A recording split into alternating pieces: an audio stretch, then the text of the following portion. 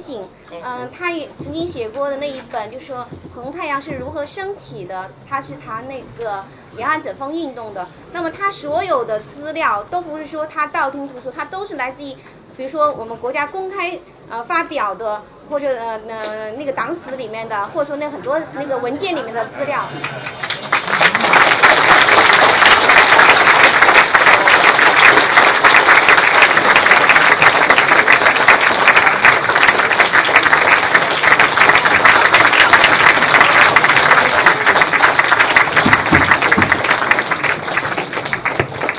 但是你是习惯用这个话筒还是用那个？呃，用这个吧，用这个好。那么我现呃刚才已经介绍了一会儿了，到这边去。那这样的，我们现在呃再一次以热烈掌声，嗯、感谢我们高浩老师 来到我们现场。谢谢郭老师，谢谢同学们，谢谢大家啊，让大家刚才等了啊。呃，今天咱们谈这个关于抗战的呃抗日战争的一些问题了啊。呃，其实今年我想，今年是抗战胜利六十周年，我们已经从各种的这个影视啊、啊报刊啊，已经知道很多有关抗战的一些情况。那么今天呢，我想，呃，我从我这个角度，我觉得抗战有几个问题蛮重要的，所以和同学们一起谈一谈。然后呢，呃，可能我留一点时间，啊、我们可以讨论交流一下，好吧？啊，稍微等一等，我打开水。郭老师，你坐。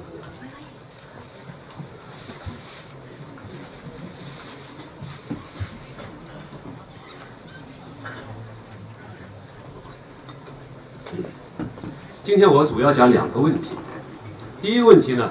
呃，我想讲全面抗战爆发以前，那呃，国共两党对抗战的不同态度，啊，这是想讲的第一个问题。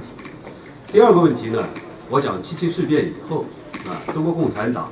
他对抗日的一个基本方针，啊，和它的成效，呃，大概呢就讲这两个问题。那么今天我先讲第一个问题。我们都知道，在一九三七年全面抗战爆发之前呢，啊，国民党有一个基本国策，这个基本国策呢，就是攘外必先安内。同学们都知道，这个政策呢，不是以后共产党给他加的，是国民党正式的一个表述，就是啊安内让外政策。那么，一九二七年到一九三七年这十年，是二十世纪中国历史上啊，好像占据一个非常重要的地位。关于这十年呢，呃，我们有不同的对它的表述和判断。中国共产党方面呢，我们认为呢，这十年应该是什么呢？啊，是第二次国内革命战争时期，啊，或者用毛泽东主席的话讲，是啊，国民党实行反革命的军事围剿和反动的文化围剿的这个十年，啊，这是中国共产党对这十年的一个基本判断。那么国民党方面，或者是不要录吧，也没有什么啊。国民党方面啊，或者是亲国民党的一些历史学家，他们对这十年呢也有一个判断，他们称它叫做黄金十年，啊，中国发展的黄金十年。那么以后有人提出不同的看法，说这十年难道真真的是所谓黄金十年吗？啊，呃，中国面临的日本帝国主义的侵略、压迫啊等等，啊，国内有一系列的严重的问题，啊，在这种情况下呢，亲国民党的一些历史学家，包括啊国民党方面，他们又修改了一个论述，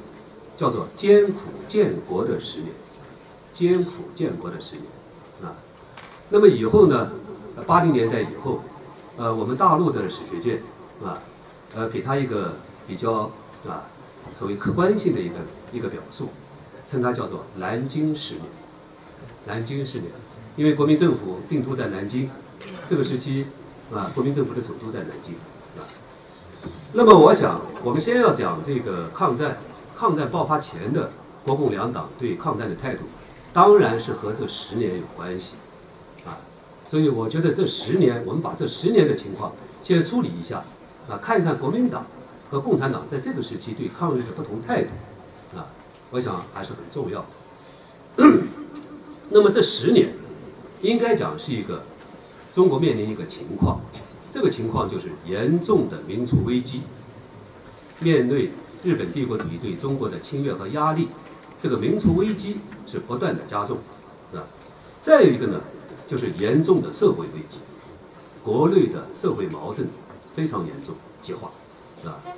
那么蒋介石是这个时期的啊中国政治的重心，不是中心是重心，啊。那么蒋介石是用什么方法来应对这十年的这个民族危机和社会危机呢？我想，蒋介石他选择了一个治国的一个基本方略，这就是啊所谓党治国家，党治国家这样一种形式。所谓党治国家，以党治国这样一个模式，啊，他试图在党治国家的这个框架下。通过推行安内让外的政策，来化解啊他所面临的这种严重的民族危机和严重的社会危机，进而达到维护和巩固国民党的统治的一个目的啊。那么关于党治，这是一个二十世纪的在中国的一个新概念。我们知道在前清没有这个概念，甚至在北洋北洋的前期也没有这个概念啊。党治这个概念是从俄国来的，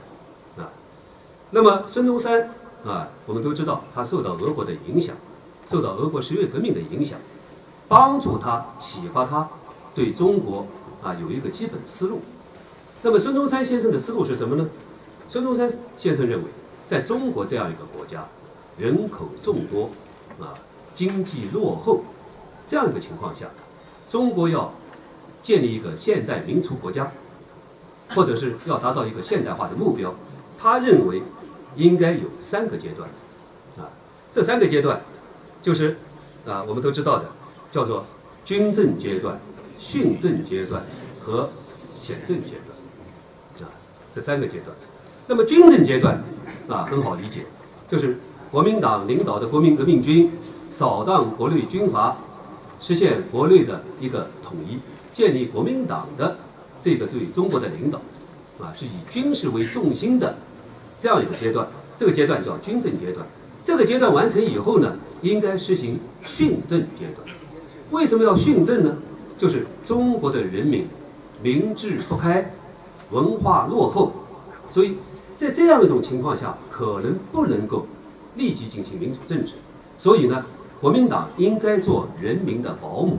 这是孙先生的话，做人民的保姆。帮助人民、启发人民、教育人民，那么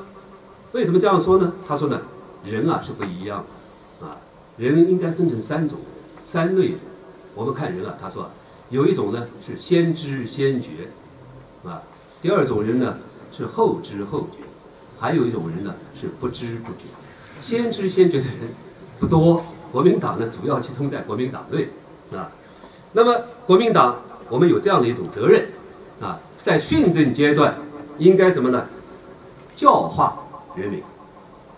帮助人民，培养人民有一种自治的习惯，养成民主的习惯，啊，那么为将来国家进入训政而进入显政培植基础，这是孙先生的一个基本的一个对中国的设计。那么一九二七年以后，我们知道，啊。蒋介石发动反共政变，在一九二八年以后，他有所谓第二次，形式上实现了国民党领导下的统一，形式上，所以国民党宣布我们进入到以党治国的训政阶段，啊，所以在一九二八年以后到一九三零年，我们看这两年，这两年。是国民党训政刚刚建立、刚刚开始的时候，他就面临了一个新的问题。第一个问题就是所谓新军阀的混战。新军阀啊，不同派系的新军阀，原先在统一的啊，在打倒北洋军阀基础上建立起来的不同军事派别的联合，在一九二七年以后又分化了。所以在一九二八年以后，国民党之间的。国民党的不同的派系之间又进行了一些大战，这个高潮就是中原大战。啊，这是我们讲，这是国内政局严重的动荡。第二个方面非常啊，也是当时一个非常突出的现象，就中国共产党领导的农村革命开始兴起啊。那么第三个一个问题就是日本不断的对中国施加压力。同学们都知道，一九二八年以后，国民党要进行第二次北伐，日本帝国主义在济南啊。阻碍国民革命军的北伐，发生了一个济南惨案，把国民政府派到济南去的外交代表，啊，把他这个蔡蔡公时啊，把他鼻子挖掉，眼睛挖掉，啊，阻碍国民革命军北伐，这是史称济南惨案。那么，而且日本是破坏东北意志，破坏张学良啊规划啊中央政府。啊就在这样的一种情况下，一九三零年，蒋介石正式提出一个新政策，这个政策就是安内让外，安内让外，啊，安内的对象很清楚，两个，一个就是地方实力派，一个是中国共产党，就是安内的对象，攘外的对象也很明确，就是日本帝国主义，安内让外。啊两者的关系是，攘外必先安内，先把国内的问题先解决，然后再解决和日本的矛盾问题，啊，这是一个当时的一个基本国策。我在想，一九二八年以后啊，啊，在这个所谓黄金十年，啊，蒋介石是试图以国民党和中央军来整合中国。啊但是国民党的情况是怎么样的呢？啊，国民党的情况是不是我们今天有些同学抱着一种很啊浪漫、很理想的情况，给他啊很多一种想象呢？啊，情况并不是像今天我们一些啊年轻朋友所想象那样。国民党在一九二八年以后迅速的腐化。啊，我下面要讲国民党的情况。首先，国民党长期以来啊，党内派系林立。派系林立，党纪松懈，啊，比较大的派系有改组派，啊，汪精卫系统的改组派，有国民党元老周鲁、谢池为首的西山会议派，啊，还有胡汉民和孙科等人啊组成的这个胡汉民派，啊，那么这是大的派系，啊，在蒋介石集团内部。也是分裂的，啊，有 CC 系，有黄埔系，啊，两派之间长期的明争暗斗。一九三零年到一九三一年，发生了中央政府和半独立的两广的长期的对立，一年多的对立，史称零月对立，啊，那么一九三二年到三六年，又有南京政府和两广地区的半独立的陈济棠政府。陈济棠统治广东的，也是这样一种矛盾的关系，所以国民党没有实现统一，就是在这个对于他最宝贵的十年中间，国民党始终没有达到一个党的统一，啊，这是一个非常严重的问题，啊，国民党的党纪形同巨文，啊，政治上和思想上始终没有能够达成统一，啊，那么我在想，啊？国民党的思想统一，啊我们知道，这个北洋时期当然不存在什么思想统一问题，啊，那么孙中山和蒋介石他们有新因素，啊，他们提出了有一个新的意识形态叫三民主义，啊，那么应该是啊，现在执政的，是不是要建构一个三民主义的解释体系，啊，使国民党的所有的活动建立在三民主义的这个解释的一个基础上？啊，按理讲是应该这样，国民党也是这样做的，但是做的非常不成功。我想，由于国民党对孙中山的三民主义，它表现出一种严重的随意性，随意性。三民主义在这个时期已经失去了一个完整的理论所具备的应该有的严肃性和它的内涵的规定性，在理论层面上。蒋介石无法绕开孙中山，解释清楚三民主义和共产主义的关系问题，他绕不开，他没有办法面对这个问题。因为孙中山讲了很多话，三民主义就是共产主义这些话，到了一九二八年以后，蒋介石他只有回避这些问题，他不能谈这些问题，是吧？再一个，他也不能解释清楚三民主义和民族主义的关系问题，啊，也不能解释清楚三民主义和中国文化传统文化的关系问题，啊，这是我们讲他的解释。啊，是非常随意，啊，是他不能解释一些最关键的一些重要的问题。我个人觉得，在大陆时代，一九四九年以前，啊，国民党对孙中山的解释是非常非常的粗糙的，很粗糙，是教条的，是僵硬的，啊，他虽然知道宣传的重要，我前面就讲了，国民党有新因素。有新因素，它和北洋军阀相比，它有很多新的东西，啊，一九二四年，国民党开始有中央宣传部，啊，北洋时期没有这样的组织，啊，所以他很知道宣传之重要，啊，可是，国民党虽然知道是要建构一个理论，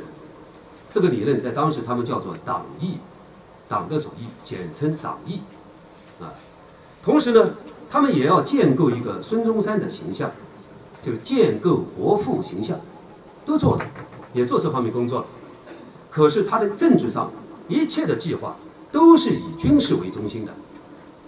当然可以理解，他当时面临的最大问题是军事上的问题，是各地的地方势力派挑战南京的政府的权威，所以他的所有的安排都是以军事为中心为中心的。虽然政治上也开始想到很多问题，但是在当时可能只能以军事为中心，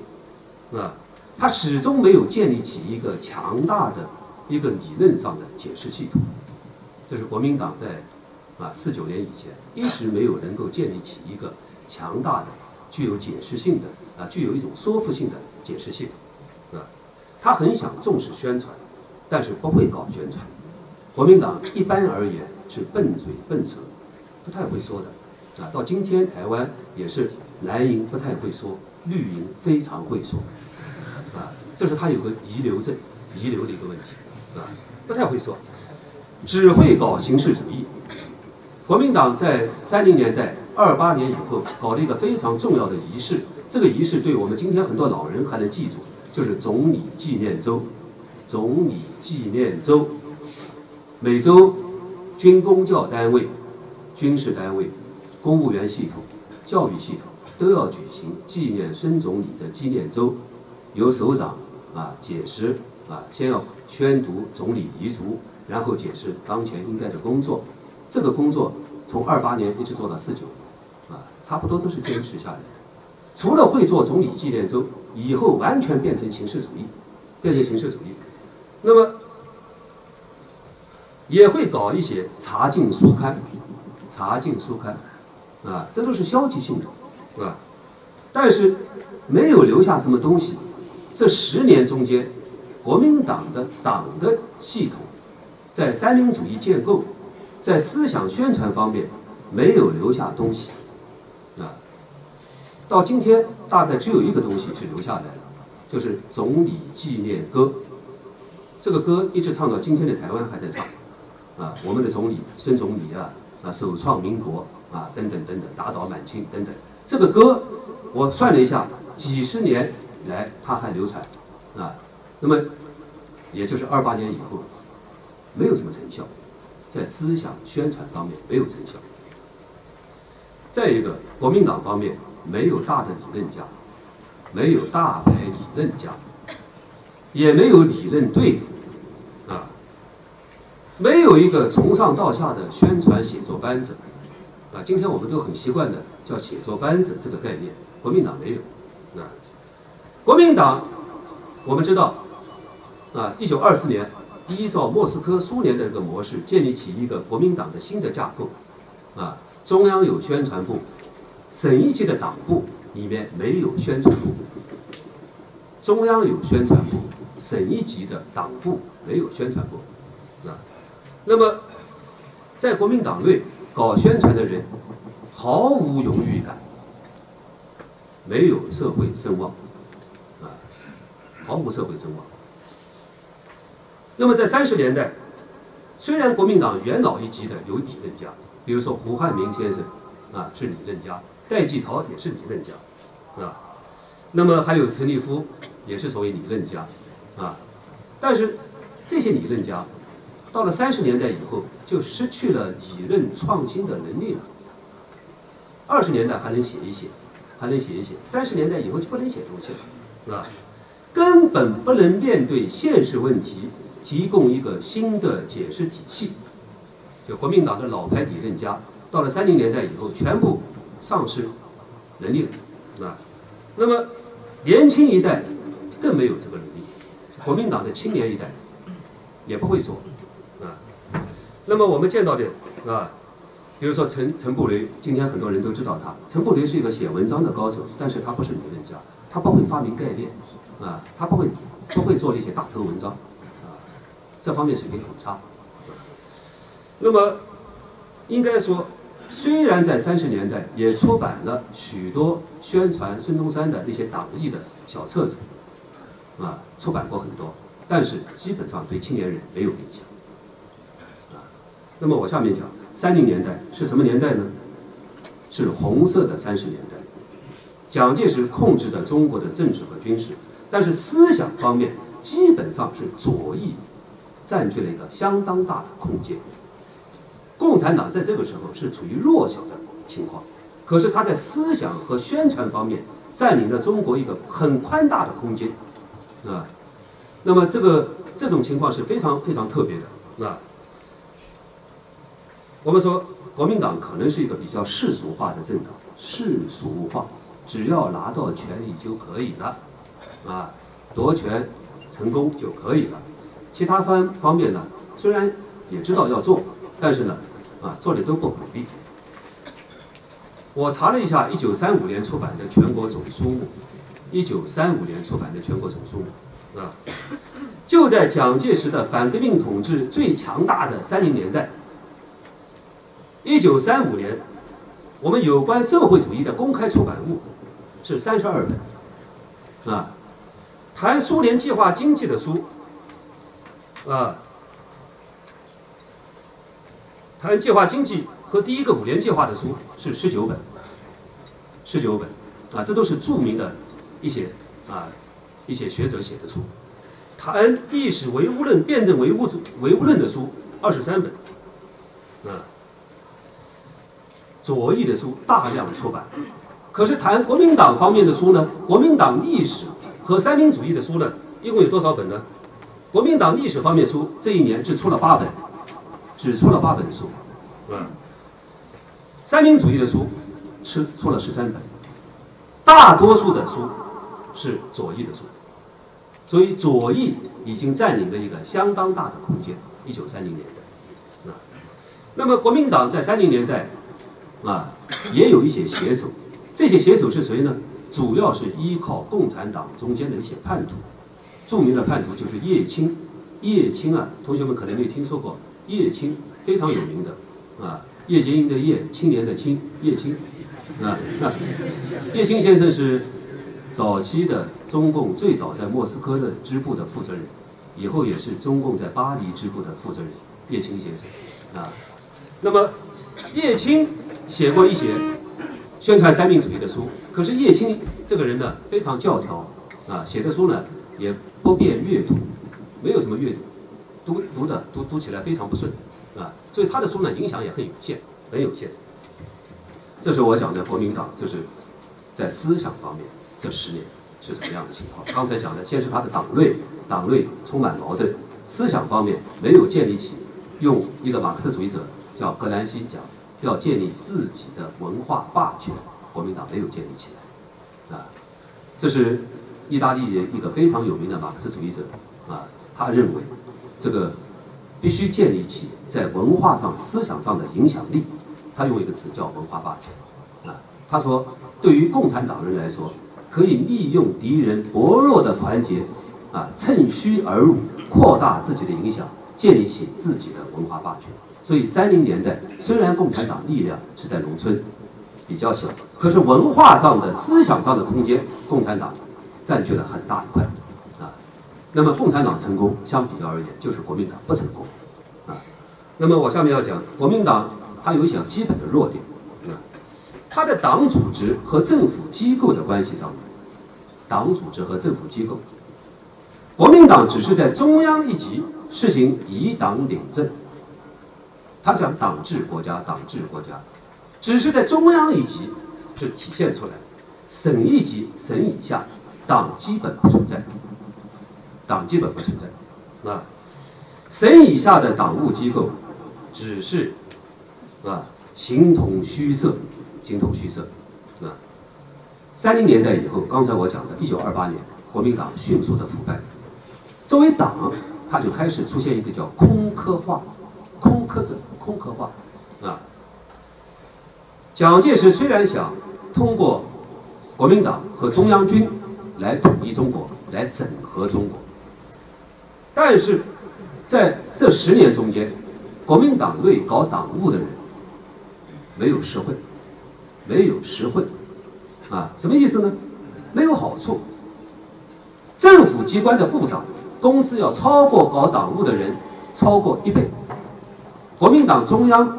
执行委员、中央常委每个月的工资是三百三百块，可是政府部长的工资每个月是六百块。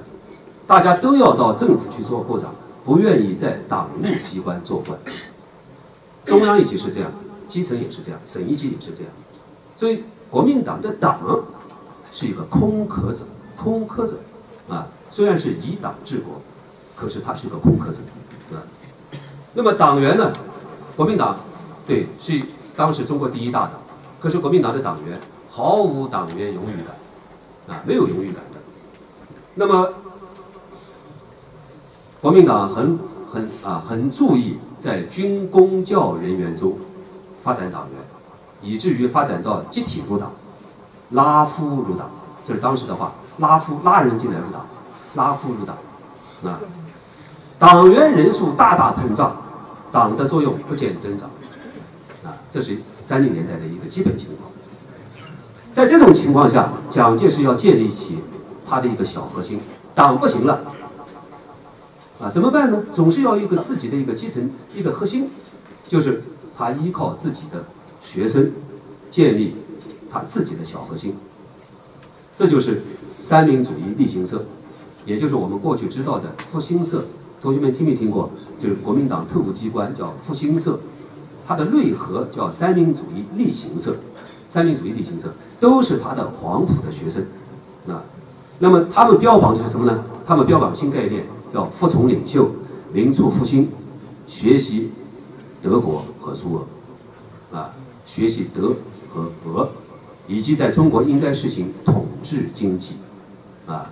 那么这是一个具有法西斯主义倾向的蒋介石的一个基层，一个非常内啊一个核心，希望通过这个作为他的一个最重要的一个干部基础，啊，那么在党的系统里。党既然不行了，在青年中间再成立一个核心组织，叫青白团，青天白日啊，青白团，这是啊党党中之党啊。那么我们看蒋介石这十年，面临这种严重的情况，严重的民族危机，严重的社会危机，他自己党不太行，党不太行了，党基本上空壳化，怎么办啊？他做没做其他事情呢？应该讲，这个时候他做了很多事情，啊，我上面要讲，他的国民政府是一个具有现代化导向的，有现现代化导向，啊，以军事强人为主导的威权式的弱势政府，不是强势政府，弱势政府，它是有现代化导向，可是是以军事强人为中心的，啊。这样一个威权式的弱势政府，蒋介石也要发展中国经济，啊，为此做了很多努力，也做了很多努力，这十年，所以有人说他是黄金十年，啊，那么征用了不少专家参加政府，啊，一九三三年，啊，建立了啊，呃，资源委员会等等等等，像这样的一些机构，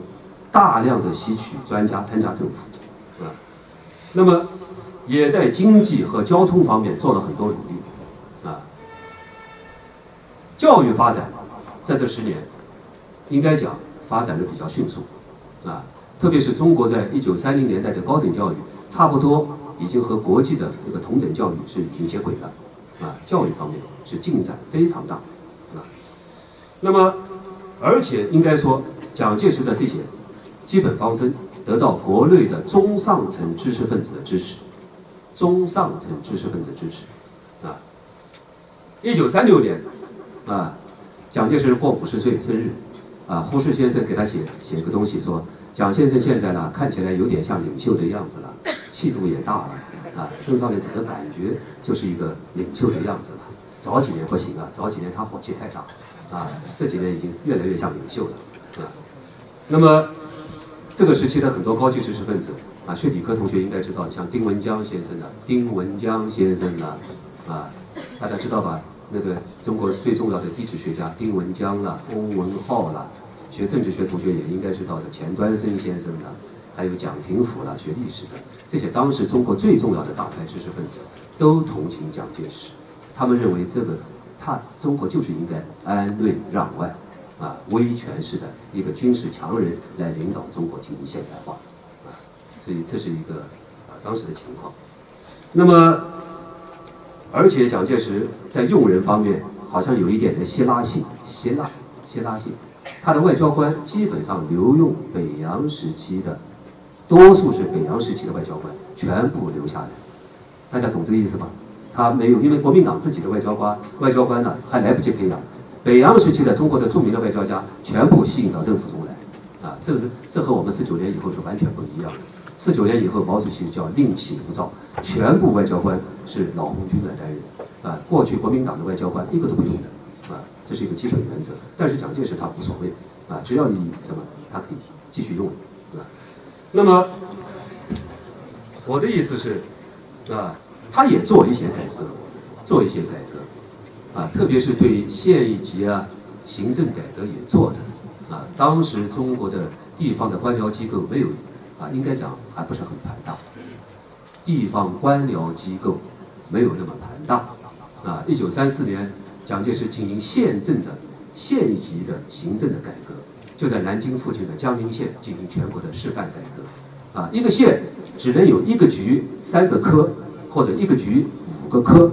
啊，不允许有大量的官员。啊，所以官员不多，人民的压力也相对小一些，是不是呢？啊，所以他这个也做了很多次。啊，做一些局部的这些改革，但是就是不促进中国的基本问题、土地问题、农民问题，枝节性的这些社会改革也都做了。啊，呃，我想他是弱势的，为什么弱势的呢？最重要的，蒋介石没有真正实现国内的统一，没有实现统一，啊，国民党在他的黄金十年里，啊，都没达到全国统一，他的真正统一。是在一九四九年到台湾以后，啊，是不是呢？前面都没有统一啊。两广是半独立的，云贵是半独立的，四川是半独立的，新疆是半独立的，山西是半独立的。蒋介石就是以江浙为中心，啊，当然包括武汉到山东啊，有限的这些地方，这是蒋介石的中心地带。大部分地区只是名义上服从国民政府，啊，所以我们说他是一个弱势的。这种集权性的政府，更关键的是，蒋介石在这十年中间没有能够回应全民族的抗日救亡的要求。蒋介石的政府在当时被认为是一个代表，是一个啊，是一个应该讲，它是个民族主义政府。当时世人、西人都认为蒋介石是一个民族主义政府。民族主义政府一个起码要求是要维护国家的统一。和领土完整，要抵御外国的侵略，这是民族主义的基本要义啊，对不对呢？但是这十年，蒋介石对日本的侵略一直是一忍再忍，一让再让。刚才我前面谈到一九二八年啊，日本人把他的外交代表眼睛挖掉，鼻子挖掉，啊，残酷的折磨死。蒋介石在日记上写下：奇耻大辱，大辱啊！这个仇是一定要报啊！将来终有一天要和日本打一仗。他是写过的，啊，他对日本他一点不喜欢，这是肯定的。但是，他现实中对日本的、对中国的侵略是步步退让，步步退让。这种退让就严重的危害到一个中央主权政府的一个一个形象问题，以及人民对政府的疏离感的问题。我们说，人民对政府有个基本要求，有个基本要求，而蒋介石没有能够做到这一点，使当时的民众、各个阶层的民众，包括知识界，都对蒋介石产生了严重的疏离感。所以，这就是安内攘外有问题，有问题，是吧？那么，我想，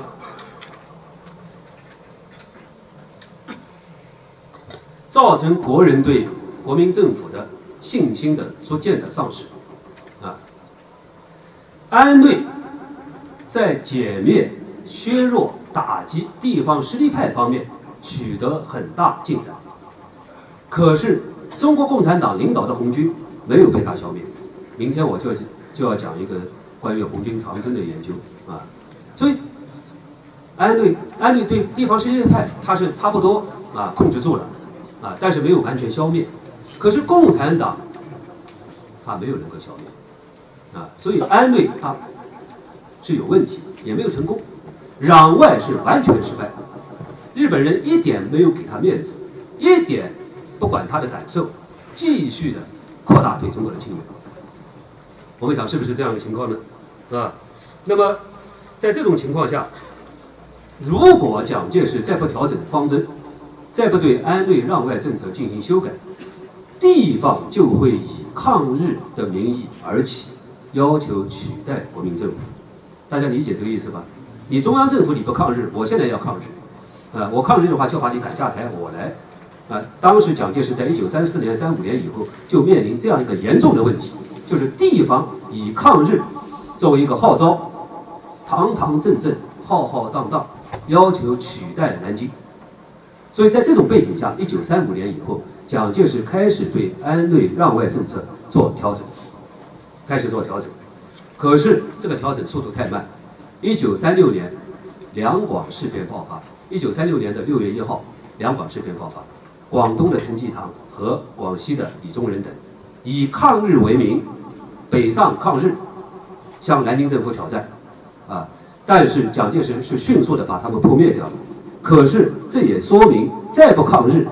地方将要兴起，地方要起来，啊！所以。西安事变就是一个最严重的信号，啊，西安事变。那么，一九三六年七月，蒋介石开始做调整政策的讲话。他说：“假如有人强迫我们成立伪国，承认伪国，就是伪满洲国，就是我们不能容忍的时候，就是我们最后牺牲的时刻。”我们可以说，一九三七年的抗战，全面抗战，是抗战使中国实现了一个统一，啊。蒋介石作为全民族抗战的一个所谓一个象征，三七年到三八年，他的威望达到最高点。蒋介石的威望是在一九三七三八达到最高点，全国各党派都拥护蒋介石，承认他是抗日统帅。如果不抗日，是没有这样的一个情况啊。那么安内攘外政策这十年啊，我想。啊，刚才我做了一个一个给大家一个梳理，那么下面我要讲这个时期中国共产党对抗战的态度是怎么样？啊，九一八事变爆发以后，啊，没有几天，中国共产党九月二十号就发表声明，旗帜鲜明地提出要抗日，国民党没有的，啊，我们应该实事求是讲，共产党是最早在中国提出要抗日，啊，但是。这个时候，中国共产党还不成熟。一九三一年的中共不成熟，他们受共产国际莫斯科的影响比较深，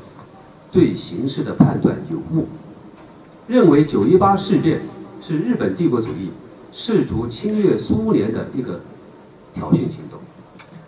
这形势判断错了，是要抗日，但是九一八事变是好像他们要打苏联，啊，是这样判断错了。那么，在这个九一。九月二十号，中共发表声明的时候，提出两个口号，一个口号是完全正确，叫保卫中国；第二个口号今天看有点偏颇，叫保卫苏联。当然，我想我刚才前面讲了，这个时候他还不太成熟，啊，还比较年轻。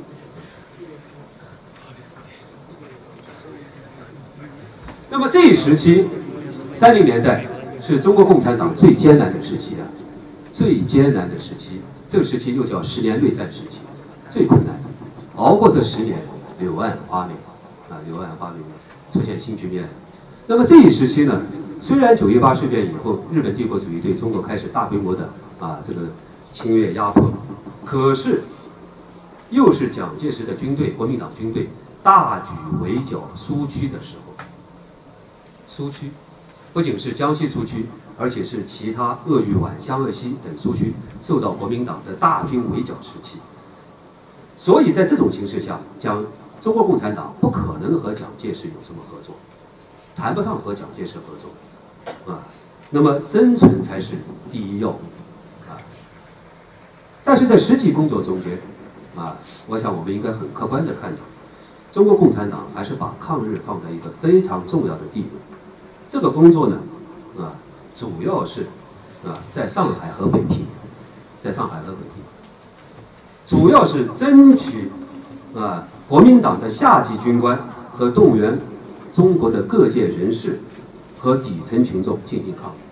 日，啊，工作主要是在上海的临时中央来领导，还不是在江西，这个工作是中共中央当时还在上海，啊，这个中央呢叫做临时中央。一九三一年以后的中央叫临时中央，啊，江西呢最关心的是怎么打破国民党的围剿，啊，上海的中央呢，当然这时候就有一个中央就是上海，啊，上海中央呢是考虑到啊要领导全国的抗日，啊，那么我想这个做了很重要的工作，就是派出干部到东北去。今天我们今年对抗联有比较多的宣传。抗联，抗联。过去我们对抗联的宣传比较少，啊，老一点的同志应该知道，抗联一般我们虽然是模模糊糊知道，但是没有像今年这样大规模宣传。为什么呢？因为派出抗联、领导抗联的不是江西的中央苏区，而是王明路线的王明中央，啊，这一批在上海的同志，他们领导的在东北的这个抗联工作，啊，那么。一九三三年以后，上海中央呢就搬到江西去了。那么留在上海的还有一些同志，特别是在北方，啊，北方以天津为中心的中共北方局系统和北方的中央军委一直没有被破坏。这个我们过去传统叙述啊讲的有偏颇，传统叙述说是王明路线使我们白区工作损失了百分之百。同学们看书的时候可能都有这个印象吧，啊，这种说法今天看是说过头了，啊，因为在王明路线最鼎盛、啊危害最大的时候，就是十年内战的整个结束，啊，中共北方局始终没有被破坏，啊，每一次破坏以后又重建起来，中共河北省委一直没有完全破坏，啊，那么像有个上海有个很重要领导同志柯庆施，啊，就一直是在北方局工作的，啊，所以。过去说的是有偏颇的，啊，那么党的北方局系统和党的中央军委在白区的中央军委做了大量的组织抗日的这方面的工作，所以过去这方面我们谈的不多，啊，今年开始谈的比较多，开始谈了，啊，那么过去不谈的原因主要是我们说王明路线时期白区工作损失了百分之百。啊那么，东北抗联，啊，一个是由上海中央领导的，以后上海中央呢受到，啊，到到江西去了，东北抗联主要是在莫斯科的中共代表团领导，莫斯科的中共代表团领导，江西离那儿太远，根本无从领导，陕甘宁离东北太远，根本无从领导，所以啊，中苏边境靠在一起，靠在东北。是由王明等人在莫斯科领导抗联，并派干部从苏联进入中国东北，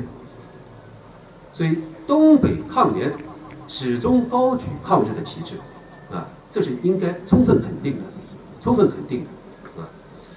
那么中国共产党全面的调整方针政策是在一九三五年，真正调整政策是在一九三五年。三五年十二月，它的背景是莫斯科开始改变方针。我们知道，一九三三年，希特勒德国，希特勒是在人民的选票下，希特勒成功的，大家理解吗？法西斯上台，不是通过发动反革命政变，是人民愚昧投票给法西斯上台的。那么为什么能上台？是因为这个时候莫斯科和德国共产党把主要打击目标打在社会民主党，没有联合社会民主党，因此造成了这个反法西斯力量不能结合。社会民主党是反法西斯的，德国共产党是反法西斯的，可是他们又反法西斯又反社会民主党，所以希特勒能上台。鉴于这种情况，一九三五年，斯大林和基米特洛夫开始调整政策。法西斯是世界的最大的威胁，日本法西斯和中国法西斯，中国同志应该开始考虑联合蒋介石抗日。莫斯科发出了新的一个看法，这个看法，一九三五年七月，在莫斯科就提出一个新方针。那么莫斯科呢，又派了一个同志，叫张浩同志。张浩同志是林彪的堂哥，啊，叫林玉英，啊，装成一个商人的样子。啊，坐了骆驼从外蒙古进入中国，千辛万苦到了陕北。到了陕北以后呢，传达莫斯科的新精神，才有我们今天大家都知道的瓦窑堡会议，建立抗日民族统一战线。啊，它的背景是这样：莫斯科的新精神。嗯，那么，一九三五年，中国共产党在瓦窑堡提出。抗日民族统一战线，抗日民族统一战线。这个会议以后，中央就派刘少奇去北白区。刘少奇是一九三六年的三月到达天津的，去了以后开始改组整顿北方局系统，开始实行新政策，团结啊各方面的力量，开始建立抗日民族统一战线。过去我们传统叙述说，这是文革前的叙述，说一二九运动是少奇同志领导的，这也是不对的。一二九运动期间，少奇还在还在保安，跟一二九没有关系，啊，那是为了突出刘少奇的丰功伟绩，把他时间给他前置了。一九三六年三月到达天津，一九三五年十二月一二九发生的时候，他还在保安，他怎么领导呢？没有领导，所以过去那个说法也是不对的。啊那么，但是我我的意思是，刘少奇去了，去了天津以后，北方的工作局面打开了，抗日民族统一战线，特别是争取国民党上层人士的这个活动取得很大进展，啊，在陕北最重要的一个成就就是联合了张学良和杨虎城，啊，这是抗日民族统一战线最大的收获，最大的收获，啊，建立了。这个中国共产党和张杨的这种良好的合作关系。那么，这是我大概勾勒一下七七事变之前中国共产党在抗日问题上的一个基本的一个态度和他们的啊做的哪些事情。那么抗战开始前，国共两党的关系非常紧张，啊，可是又是一个在紧张中间不断调整、互相试探、建立接触的这个过程。那么我下面要讲的就是国民党是如何调整和中共的关系，以及如何调整和苏联的关系。就一九三七年七七事变之前，国民党已经开始调整对中共的关系。我们今天很多同学以为，好像中共和蒋介石的关系的改善是西安事变。当然，西安事变是非常重要。可是，在西安事变之前，双方已经有秘密接触，已经有秘密接触。在那个时期啊。蒋介石的心腹之患最大的敌人，他认为就是中国共产党。可是他在国内找不到共产党，找到的共产党都是叛徒了，叛徒就不能没有办法，他不能和这个中共的啊这个领导机构建立联系。他很想找到中共的领导机构，要和中共啊进行某种接触和试探。那么在中国找不到，到哪儿去找中国共产党呢？到苏联去找，对的，因为那个年代一般是把苏联和中国共产党是连在一起的，所以在中国找不到，就到莫斯科去找，啊，那么蒋介石就开始啊，到莫斯科开始要和苏联人联络，啊，通过和苏联人联络，再和中国共产党建立起关系。一九三五年，三五年年底圣诞节前夕，蒋介石派了他最重要的干部叫陈立夫，秘密的到欧洲去，希望到苏联去见斯大林，摸摸斯大林的底，同时和中共建立联系，因为他们都知道，在莫斯科有中共代表团，有王明做团长的中共代表团，对吧？那么陈立夫坐的这个很豪华的船。到了欧洲啊，一路上还做了很多化妆，就怕日本人知道这个他到欧洲去的情况，啊，已经到达德国，正准备前往苏联的时候，陈立夫到欧洲去的消息被日本人发现了，蒋介石非常担心，而且苏联人也很担心。苏联人这个时候虽然对日本非常不满意，可是也怕得罪日本，所以呢，陈立夫去莫斯科的计划就没有成功，啊，消息走漏，从。走路以后，从欧洲又重新回来。那么没办法，蒋介石还要想办法。他一九三六年上半年派了他的一个非常重要的一个学生，当时是中国驻苏联大使馆的武官，啊，这个人叫邓文仪，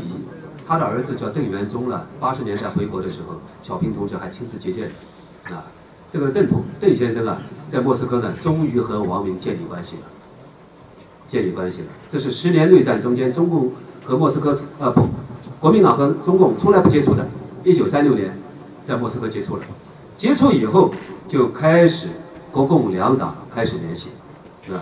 那么王明告诉他说，国共两党的中央都在国内，应该你们谈判接触应该在国内谈判，但是我这儿派一个人过去，这个人就是潘汉年，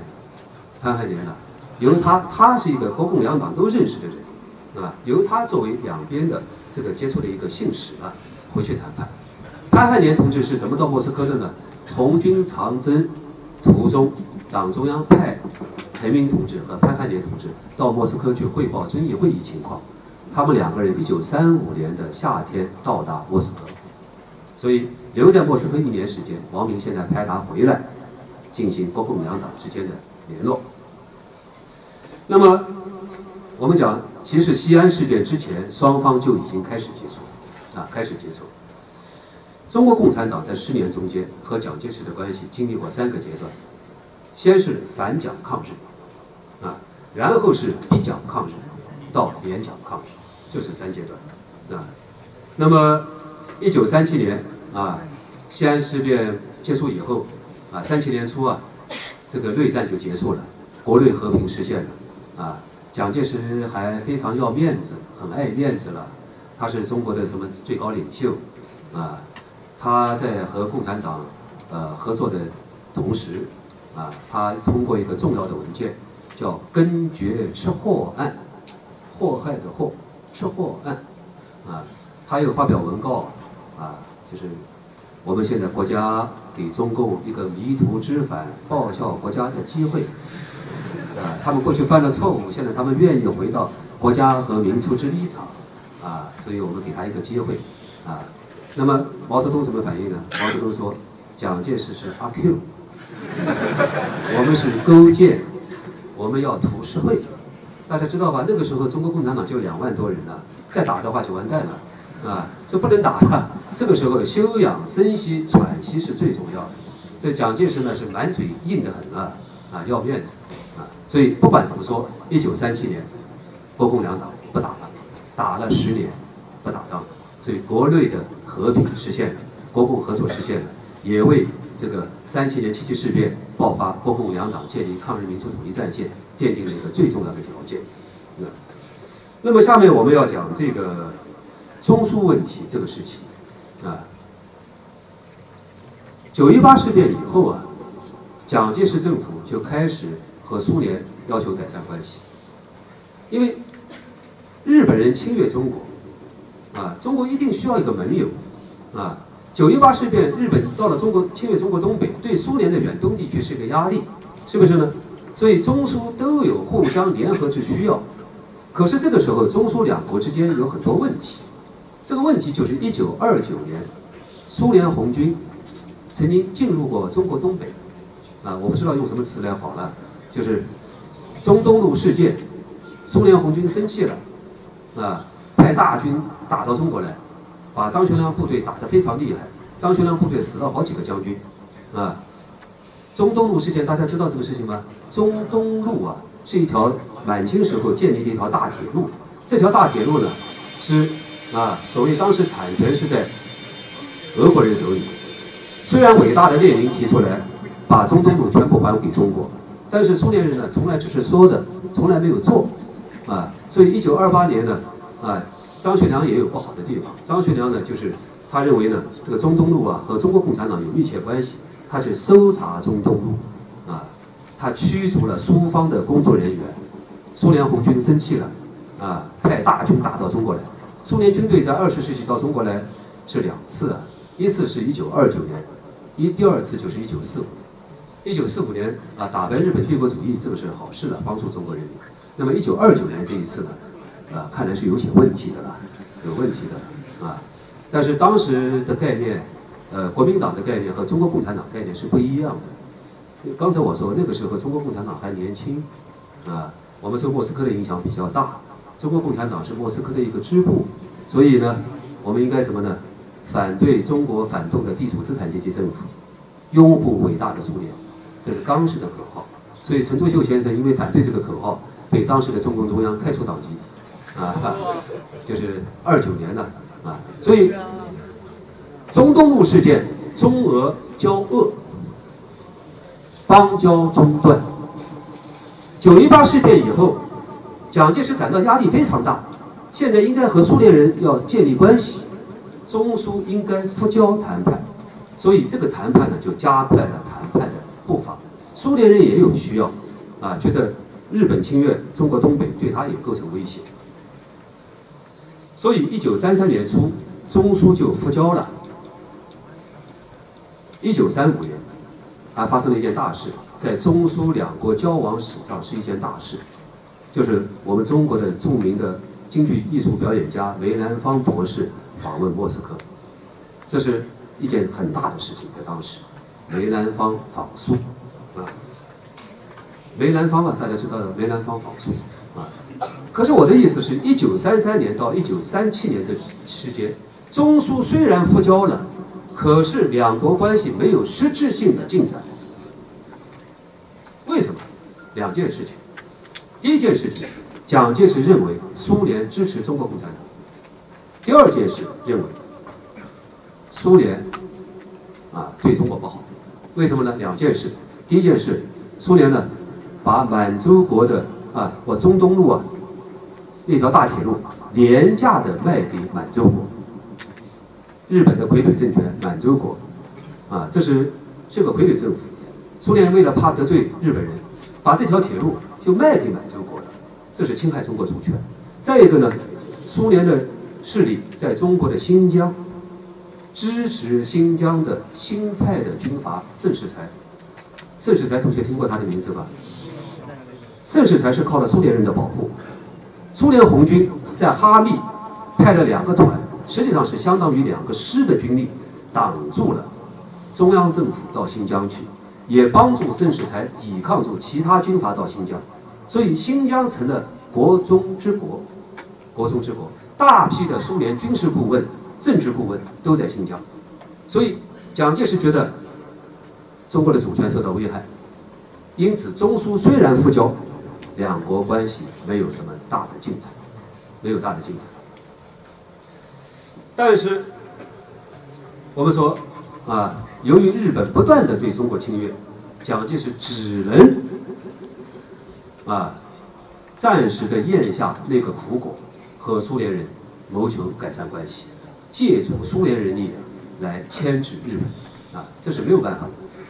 一九三六年，啊，陈立夫，蒋介石把最重要的工作都交给陈立夫做，陈立夫这个人，啊，那么就和在南京的苏联大使叫包格莫洛夫大使，简称包大使，啊，包大使，当时中国人就叫包大使，啊，和包大使就开始联络，啊，那么这个联络的目的呢？蒋介石啊，他认为自己很聪明，他说我们中国要和你苏联结成军事同盟，我们共进退。可是苏联人不上钩啊，苏联人怕日本人，他不愿得罪日本人，他不愿意和中国结成军事同盟。但是呢，他同意跟中国结成一个叫互不侵犯的，签订一个条约，中苏互不侵犯条约。当时中国的国力那么弱，怎么可能会侵略苏联呢？不可能的事情。但是苏联人意思是说，我们通过这个条约可以援助你军火，中国人还可以得到好处，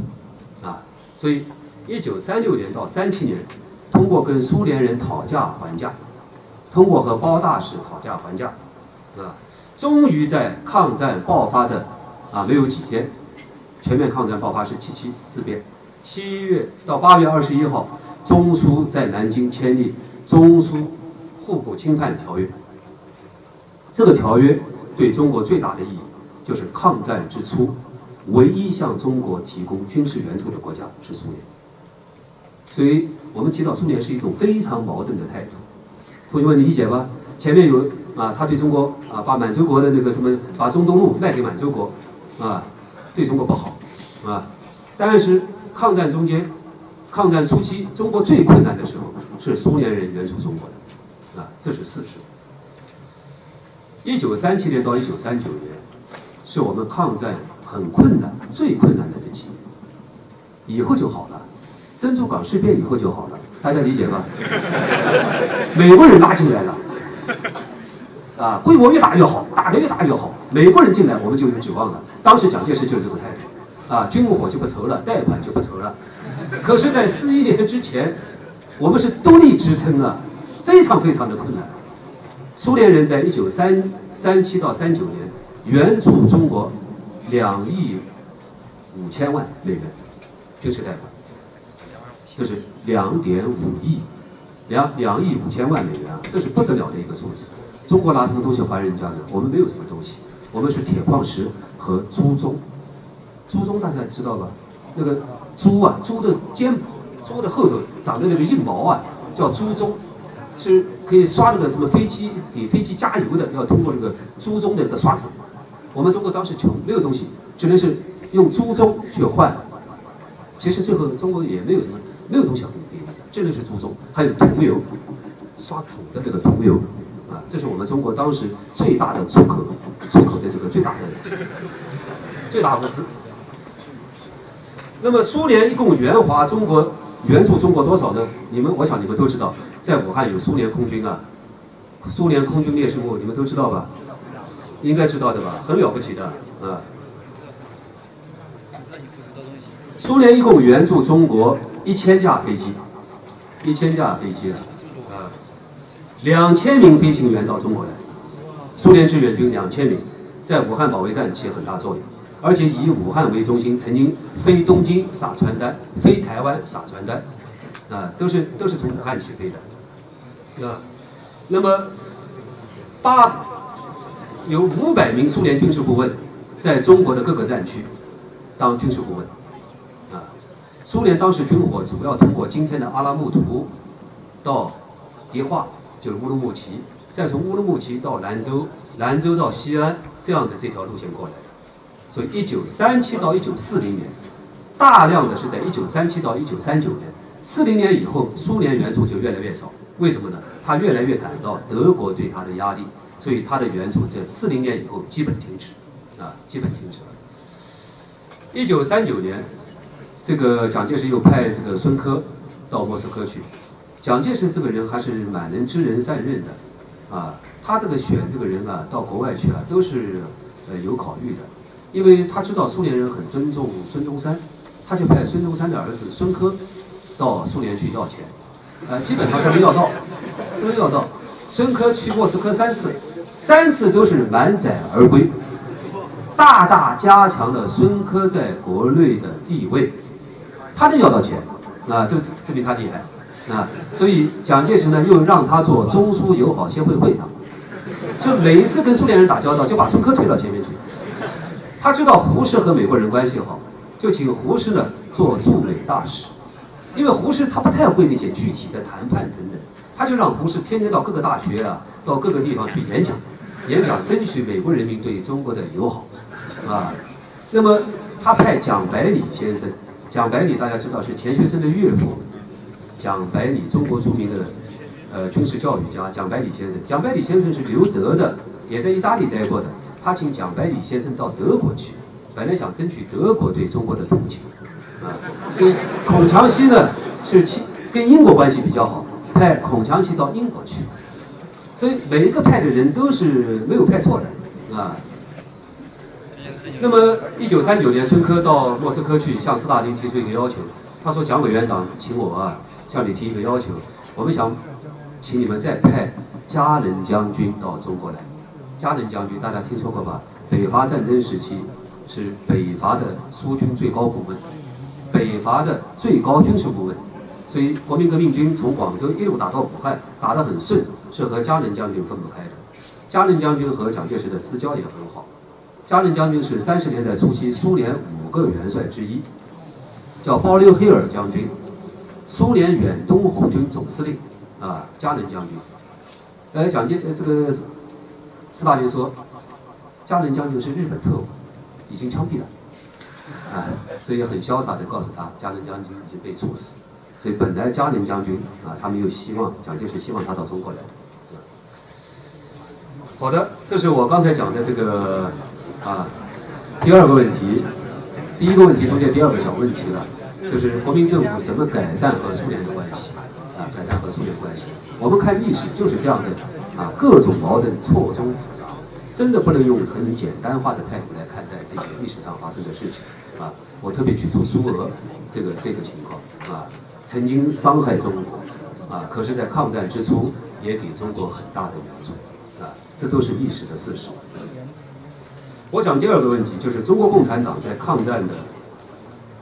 七七事变以后，它的一个基本的方针和它的成效。我想，抗战初期啊，中国共产党力量还很弱小，它的影响主要是在政治上。中共在抗战初期的影响是在政治上，实力还比较小。所谓实力。也就是中国共产党这时候，夯不啷当全部加在一起是两万多人，两万多人主要集中在军队，就是党主要在军队里面。那么现在最重要的一个情况是什么？要在政治上，在全中国和全世界要亮相。大家懂这意思吧？十年中间是一直在地下，现在获得了一个合法的这样的合法化了，所以我们要在政治上要向。全中国、全世界人民要亮相，那么这个亮相呢，首先是要政治上亮相。那么我想毛泽东主席这个时候他真的是非常的高瞻远瞩了，他提了一个重要的一个口号，叫做全面抗战，全面抗战路线啊。呃，我想啊，这个中国共产党要在抗战中承担领导的这个责任啊，那么。关键的是要吸引群众，要吸引群众呢啊。那么如何发挥这个领导作用？这就是全面抗战路线，提出这个口号啊，用这个纲领和国民党区别开来，显示自己的特色和特性。那么什么叫做全面抗战路线呢？我想同学们可能听说过，就是发动群众抗战的路线，叫全面抗战路线。那么国民党的路线是什么呢？毛主席一定要给他一个概念：片面抗战路线。啊，虽然这个时候国民党打得热火朝天，啊，一九三七年我们知道八一三抗战啊、淞沪抗战啊，国民党的主要精锐部队全部扑上去了，都在上海，啊，打了三个月，国民党精锐部队差不多给打光，啊，但是我们要跟国民党区隔开来呀，要区隔开来。那么国民党这是什么呢？单纯的军事抗战路线，没有发动群众的抗战，所以叫做单纯啊，叫片面抗战路线。那么，我想这个毛主席说，这个时候国民党显示出他的一个革命性。国民党最革命的那个阶段是一九三七年到三八年，毛主席说是革命性突现的时期，啊，革命性突现时期。可是他还是有最大问题。他的问题就是片面抗战路线，啊，那么因为它代表大地主、大资产阶级的这个特点啊，还没有改变，啊，而这个路线呢是不能确保中国抗战胜利的。所以我的第一个问题就是刚才讲的，中国共产党在一九三七年，在当时力量还比较弱小的情况下，通过一个政治纲领，提出一个政治口号，啊，一下子和国民党区别开来，同时呢，在全国啊给大家一个深刻的印象，深刻印象。那么第二点呢，应该讲是坚持国共合作，啊，但是特别强调在统一战线中间的独立自主性，啊。抗战初期啊，国共的这个合作，从总的方面讲应该是很好的，但是出现了两种情况，啊，这个情况也是新情况，对共产党面临了一个啊，也是一个新的挑战，就是第一个就是国民党希望是要同化共产党。趁这个机会把共产党化掉啊！蒋介石啊，我们看他的日记啊，他也在抗战以后，他的日记都写到，他说日本人的侵略只是界限，就是皮肤上生了一些血和疮，不足为患，真正的心头大患是中共。这不是，这是他当时的日记，蒋介石日记，他对中国共产党他看得非常非常的严重，啊，他一直是试图是要消灭共产党，真的是。啊，但是是形势使他不能这样做，啊，他是非常非常的，他是反共，反共的一贯性，啊，这蒋介石这一辈子都是这样子的，啊，他非常对中国共产党始终是一个敌视的态度，啊，那么三七年、三八年国共关系比较好，特别是一九三八年的上半年，也是以武汉为中心，就以你们这儿为中心，啊，当时因为在武汉。有周恩来和王明在这儿，所以国共合作轰轰烈烈。大家你们知道吗？就是以武汉为中心啊，这个时期两党关系非常好。一九三八年的年初到三八年的七八月份，啊，包括中国共产党的领导同志都提出来要保卫东方马德里，保卫大武汉，啊东方马德里。啊，那么，可是蒋介石。他看到这个中国共产党在仅仅一年时间，力量大大发展。一九三七年就有二点六七二两万七八千人，到了一九三八年变成了二十万，吓坏了，吓不吓？他肯定很很很害怕。所以三八年年底开始，蒋介石通过新方针，就是要融共，把共产党融掉，啊，限共，限制共产党。蒋介石的内部文稿，啊，我们都在档案里看到。表面上称共产党叫有党有军，内部叫奸匪奸党，啊，他看到共产党的力量大发展，他非常害怕，啊，非常害怕。那么这是一个情况，就是国民党的对中共的态度，在三八年以后是越来越不友善，啊，越来越强硬，越来越强硬，啊。以后三七年、三八年还好一点，到了三九年、四零年、四一年，发现中共人员是抓起来的，啊，是抓的，啊，三七年、三八年只要是公开化的，呃，他他他不抓，啊。那么在中国共产党内，由于受到苏联的影响，王明的主张一度占了上风。王明的主张就是比较强调国共合作，比较强调统一战线。所谓一切经过统一战线，一切服从统一战线，这个也不是王明的发发明，是从莫斯科来的。啊，那么这个看法呢，到了一九三八年的九十月份以后，延安开了一个会议，叫中共六届六中全会。这个看法呢，事实上被毛泽东就给他批评了，啊，没有点名的批评了。毛主席趁王明和周恩来在武汉开会的时候，他在那儿就批评了，呃，当面不好意思了，当面不太好意思啊，正好他们。他叫周恩来带一封信给蒋介石，要马匹一下蒋介石的。他说：“蒋先生啊，你是全民的领袖啊，我们国人无不崇仰啊。这个信啊，以后都公布的啊，就是毛主席是革命策略大师啊，他要马匹一下蒋介石。那么这个六中全会以后，王明的那种所谓右倾观点，在共产党内市场越来越小。”或者慢慢的，或者迅速的就肃清了。中国共产党开始放开手脚，大大发展，大大发展，就利用抗日的这个好机会，大大发展。当然要消要打倒日本帝国主义，同时要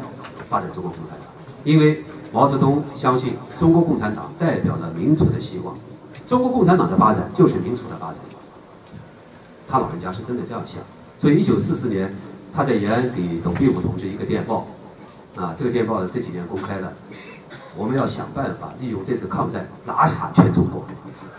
这党内是这样讲的，啊，党内的外人不知道的，啊，所以外人不啊，拿下拿下全中国，利用这次抗日战争拿下全中国，啊，这这好很好理解了。蒋介石也希望的，蒋介石希望拿下全中国变成国民党，毛主席希望拿下全中国变成共产党，啊，这个所以他们两位都是非常有战略眼光。战略的眼光，眼光看得很很长很久。那么，刚才我说毛主席很会发明词汇，啊，他的这个理论创新能力、创造词汇的能力真的是第一流的。蒋介石不会的，蒋介石方面差得很。毛主席有有新概念，比如说汪精卫当的汉奸，那么蒋介石我们怎么称呼他呢？蒋先生，公开场合下叫蒋先生的。延安有的时候还把蒋介石的照片。像拿出来，啊，拿出来。但是呢，毛主席发明一个词，他是顽固派，啊，就是蒋介石是个顽固派，啊，等等的。那么，我想呢，这个这抗战中间呢，两党关系虽然时有摩擦，始终没有破裂，始终没有破裂，证明这国共两党都还是考虑到国家民族利益的，啊，虽然他们有矛盾，经常摩擦。但是始终没有破裂，这是我刚才讲的这个政治方面啊，一个是全面抗战，第二个呢是国共合作，但是坚持独立自主性，第三个方面就是军事方针，这点特别重要。毛主席这一辈子，他是实际上毛主席他是一个伟大的军事家，啊，可是老人家一辈子从来没有摸过枪。别的人老革命家不是身上受一个伤了，打了一个洞了，毛主席从来没有，就他自己也很自，是不是？刚才我讲韦国清同志了，或者哪个同志了，不是少了一个腿了，就是少了一个伤了，什么多一个伤了，毛泽东没有啊，啊，他自己很得意的，他说我是绿林大学毕业的，他看不起国民党的什么这个国防大学的了，黄埔军校的了，我们农民能打败那些啊黄埔军校的，啊，确实是这样。那么军事方针呢？老人家在这个一九三七年以后啊，啊，曾经是思考很长时间。为这个事情呢，很多同志暂时还不理解他，啊，不理解他。但是呢，最后呢，毛主席的看法占据上风。毛泽东在抗战爆发初期就提出来，中国共产党在抗抗战中间应该的一个基本的军事方针，就是要改变内战时期的运动战的这个习惯，而转而变成游击战，游击战。以及不放弃有利条件下的运动战，但是以游击战为主。大家理解这两者的意见还能不？这两者的差别还能理解啊？运动战，比如说几千几万人的啊，或者是一万一万多人扑上去的啊，或者是八千人、三千人扑上去的，叫运动战。游击战，我们骚扰敌人啊，有利情况就打，没的情况下就跑啊。这是就是就是十六字方针呢啊，就是敌进我退啊，等等等等的啊。重要的条件是要壮大共产党的革命根据地，这是最重要的。以游击战为中心，不放弃有利条件下的运动战，啊，那么壮大共产党领导的根据地。因为共产党军队在抗战之初非常弱小，不能和敌人打硬仗，也不能去拼拼消耗，啊，只能打。独立自主的三地游击战，啊，这是毛泽东的看法。一九三七年八月他就提出来了，八月二十几号就提出来了。这个时候国民党在淞沪战场打的啊，七十万军队扑上去了，啊，那么出席毛泽东主席的这些看法得不到八路军高级将领的支持。我们的一些老同志啊，这个老红军啊，啊，他们恨不得马上就冲上战场去。啊，不太理解毛主席的高瞻远瞩。啊那么，八月、九月、十月这三个月，是毛主席最着急的时候，不断的给前方的将领发电报，要求他们啊尽量的到敌后去，不要和敌人硬拼啊。嗯，那么这个这是历史事实啊，我们的所有文献都公开的啊。那么半年左右，我们军队的同志终于理解了毛主席的看法。本来他们是想和国民党配合，而且确实做了很好的配合。可是随着日本军队从山西进入、侵略进来，国民党军队抵抗了一阵子以后也撤退了。中国共产党想和国民党军队配合作战，也配不起来了，因为国民党跑掉了。怎么办呢？我们只能是到敌后去，自己去开疆拓土。就是国共和友军联合作战的条件不具备的啊。那么这样子呢？我们讲一年以后，只有一年，八路军在华北就开辟了几块大的根据地，成效非常大，所以军队的高级领导同志全部信服毛主席的领导，有半年左右不太听毛主席的，以后全都听他的了，啊，那么我们说这个八路军一年以后从两万多发展到二十万，啊，到了一九四五年正规军有一百二十万。终于有了和蒋介石一决雌雄的本钱了，啊，要打仗要有实力的，啊，这是我讲的军事方针。第四点，我要讲一个很重要的方面，啊，共产党在这个时候做了一个非常重要的工作，就是把抗战和社会的基层的改革结合起来，抗战和社会的改革结合，抗战，啊。是共产党实践其社会改造理想的一个重要的时期。共产党有一些自己对社会的一些大的想法，这个想法呢，在抗战这个阶段开始实现，创造出许多新经验和新模式，成为以后建国的一个基本的依赖路径。四九年以后建国，很多的经验是从前面来的。什么叫做抗战和建国这两个结合起来？不仅仅是要抗击日本帝国主义，去除日本帝国主义于国土之东，我们还要利用这个时候建设一个新国家，就是抗战和改革要结合起来。啊，那么蒋介石对这个问题有没有想法呢？他也是有想法的。一九三八年的五月份左右，也是在武汉，国民党召开临时全国代表大会，通过一个重要纲领，叫《抗战建国纲领》。抗战必胜，建国必成。要通过抗战建立一个三民主义的新中国，这是一九三八年春天蒋介石在这儿提出的口号。这个口号应该讲不错的，它是抗战建国两个方面都要结合起来的。可是我们看国民党说的多，甚至说的也不多啊，做的更少，做的很少。除了墙上刷了几条标语以外，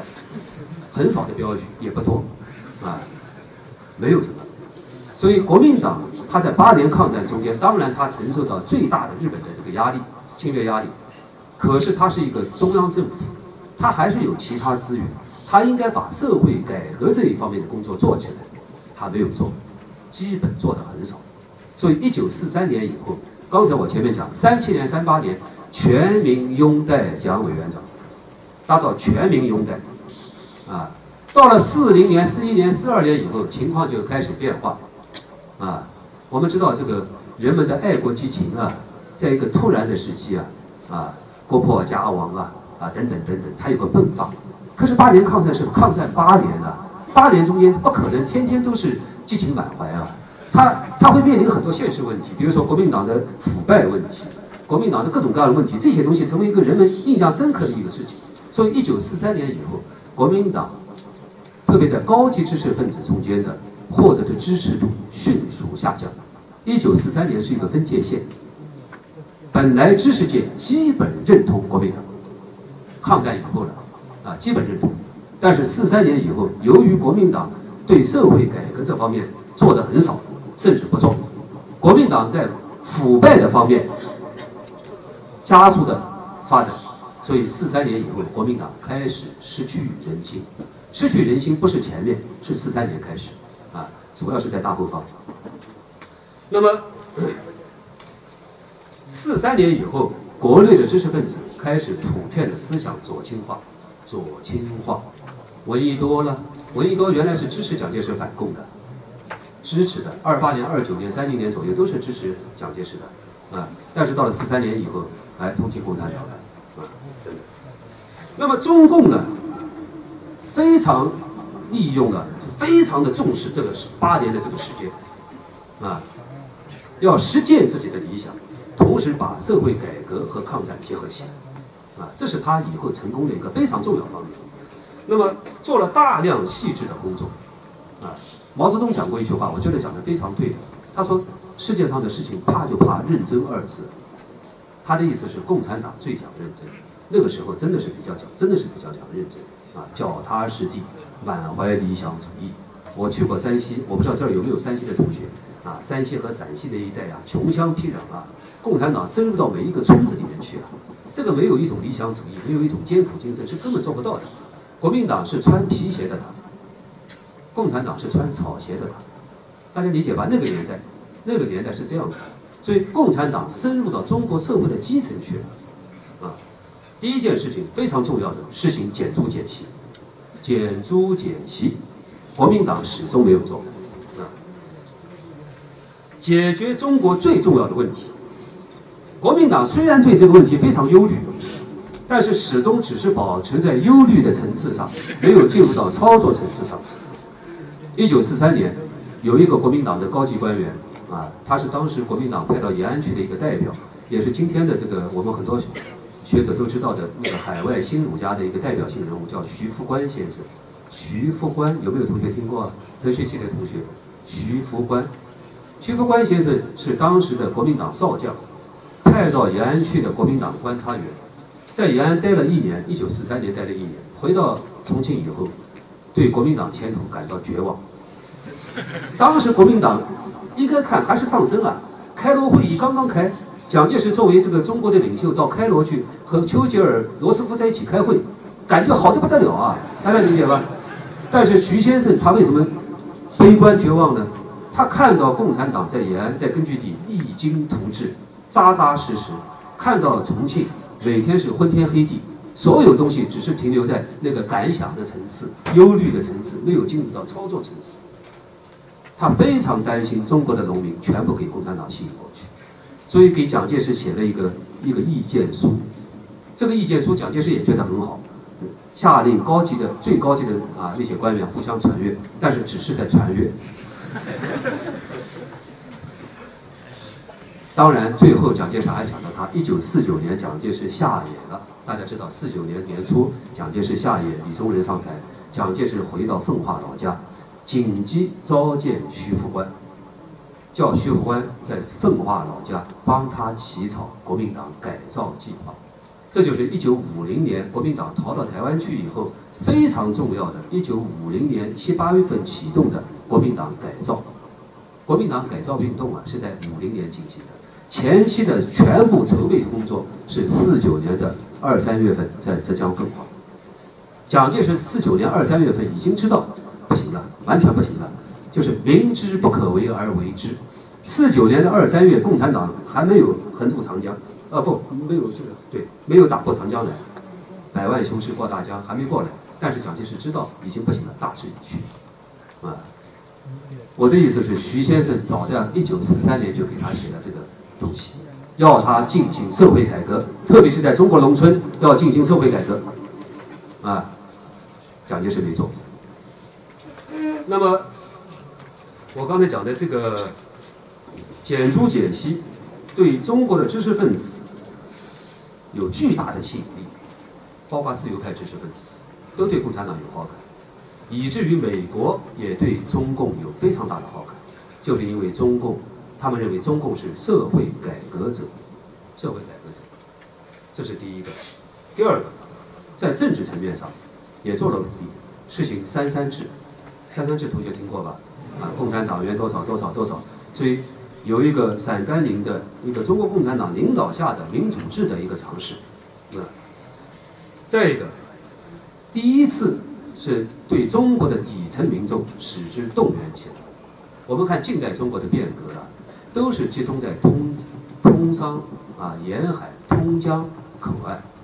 都是在城市。这个改革很少进入到中国的基层和底层。大家看是不是呢？所有改革都很少进到乡村这一期。共产党是第一次在抗战中间深入到中国的最基层，通过政治运动把农民组织起来，啊，这是成功的一个以后成功的一个非常重要的条件，啊，那么再一个还做了啊很多方面的，包括社会教育分属改革，啊，做了很多很多，啊，我这里没有时间多讲几点。做了很多，特别在教育方面，教育方面做了大量的。我稍微简单讲几句。陕甘宁边区啊，原来是一个极端落后的地区，识字率是百分之一，百分之一。整个陕甘宁识字的人是百分之一，地主也不识字，好多地主不识字的，女孩子几乎没有读书的，地主女孩子也不读书，啊，极端落后。共产党去了以后，在那儿。开始做脚踏实地的扫盲工作，啊，这个应该给予高度评价，啊，应该给予高度评价，把抗战和社会改革和政治动员结合起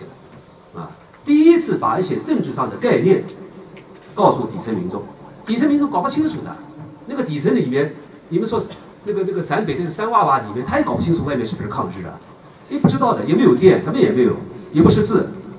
根本不晓得外部世界是什么。啊，经过共产党的政治动员和教育，底层民众都会讲政治大道理了。哦，这个不简单。你们看是不是？现代化要是民众有一定的知识，使之动员起来了，啊，那么当时就讲了，说我们要消灭文盲，消灭文盲是干嘛呢？是要提高民众的政治文化水平，啊，我们要提高大众的中华民族的那个民族思想。要动员群众抗战，啊，我们要通过扫盲，要让老百姓学会运用民主的能力和习惯。另外呢，我们还要让老百姓知道这个增进日常生活的知识和暂时知识，暂时的知识了。比如说飞机来了，飞机来了应该怎么样？应该脱岛，这个要教的，大家懂吧？对于那个从来跟外界没有联系的、不知道的，那个地方极端落后啊。一九四五年，我们一些老红军、陕北红军到东北去，啊，有的是经过北京，看到这个北京那个那个车子，马路上有公共汽车，非常奇怪，房子怎么会动的呢？这是真实的情况，啊，因为他没有这个概念，又不识字，他没有这个概念的，啊，所以在这个极端落后的陕甘宁边区，经过几年，啊，教育有很大发展，女孩子的读书。啊，三八年、三九年居然有一，啊，我看到这个有数字了，啊，一九三九年，啊，呃，一九四一年，整个边区小学已经有一千三百多所，有四万三千多名小学生，是吧，比如说有一个县，在一九三八年，啊，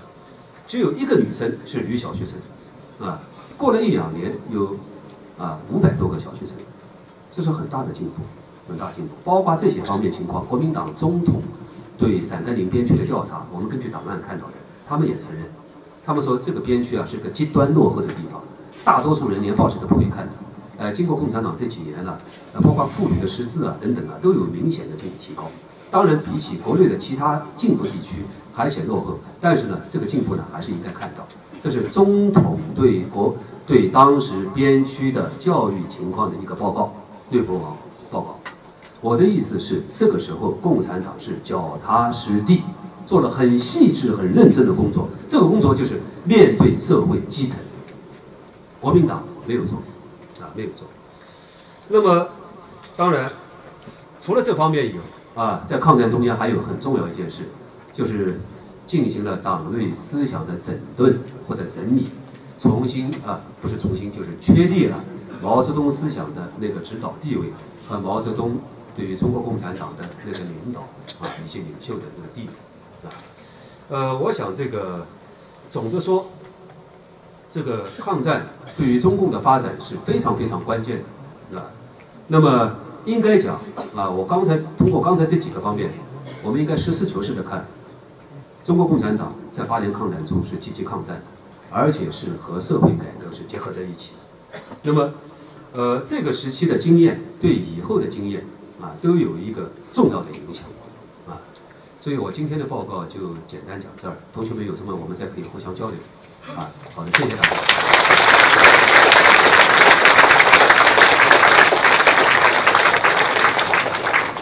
同学们有什么那个可以提出来，我们可以互相分享一下看法。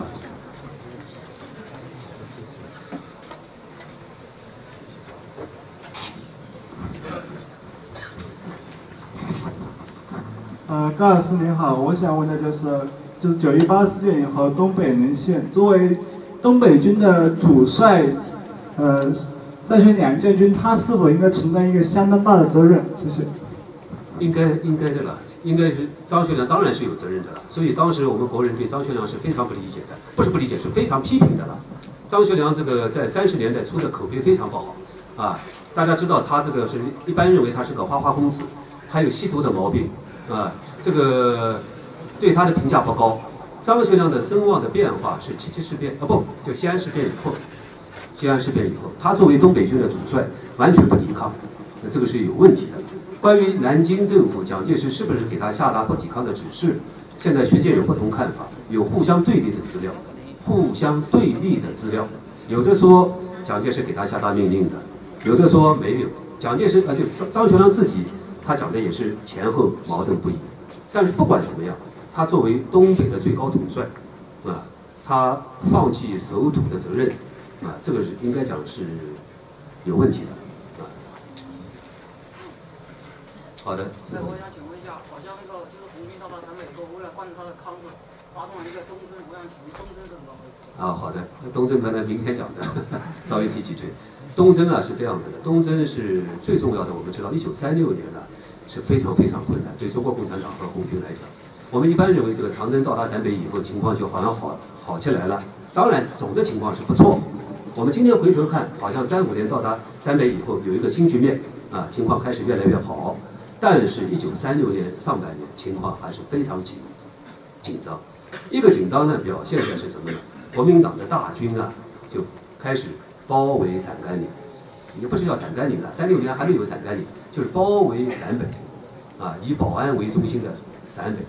那么这是一个很大的一个军事上压力。好在核心的包围圈里面，最大的包围力量是东北军和西北军。以后毛主席、周恩来成功的。化解了张杨和张杨建立了良性的互动的统战关系，就把这个最大的威胁化解掉了。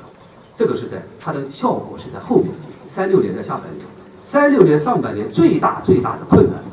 是粮草和经济困难。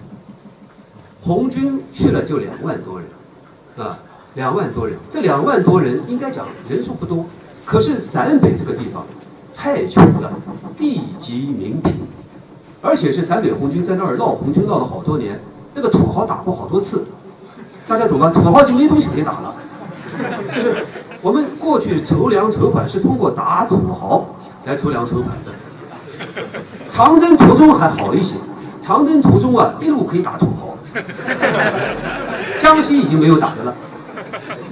江西中华苏维埃共和国的那个后期啊没有土豪好打的，全部打完了。陕北。没有土豪好打，几万红军在那儿怎么办？困难到极点，困难到极点，啊，太困难了。那么怎么办？往西边去，啊，西边曾经也有也也想过一些，啊，比较好的是东部，东部阎锡山啊是个这个土财主啊，阎锡山大家知道吧？阎锡山这个山西人啊，就是比较，你们看过什么齐家大院什么大院吧？啊。呃，就是有票号啊，等等啊，还有醋啊，什么，就是很会这个使钱增值的啊。品三对。那么，首先我们要提出东征抗日，本来就是当然，提出抗日口号非常重要，也确实希望抗日啊。只要你蒋介石同意我们，我们马上开到抗日前线。只是蒋介石封锁。那么最重要的是要解决粮草和钱款的问题。呃，打了三个月。打了三个月呢，很有收获，啊，很有收获，解决了这个粮草和款子的问题。带回到这个黄河以这边是以西的地方，五十万大洋，解决了军队的很严重的危机问题，啊，五十万，啊，山西土财主很有钱，啊。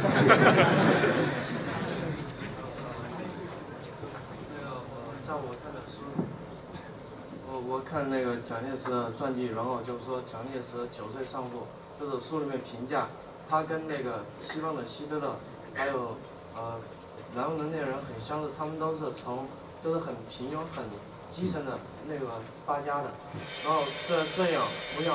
就是说他一开始的时候就是孙中山的幕僚，主要的参谋，专了经济上的参谋，但是为什么前后他有会会为什么会有这么大的差距？他以前领导领导呃黄埔军的那个东征，他每次基本上都是必胜，但是为什么后来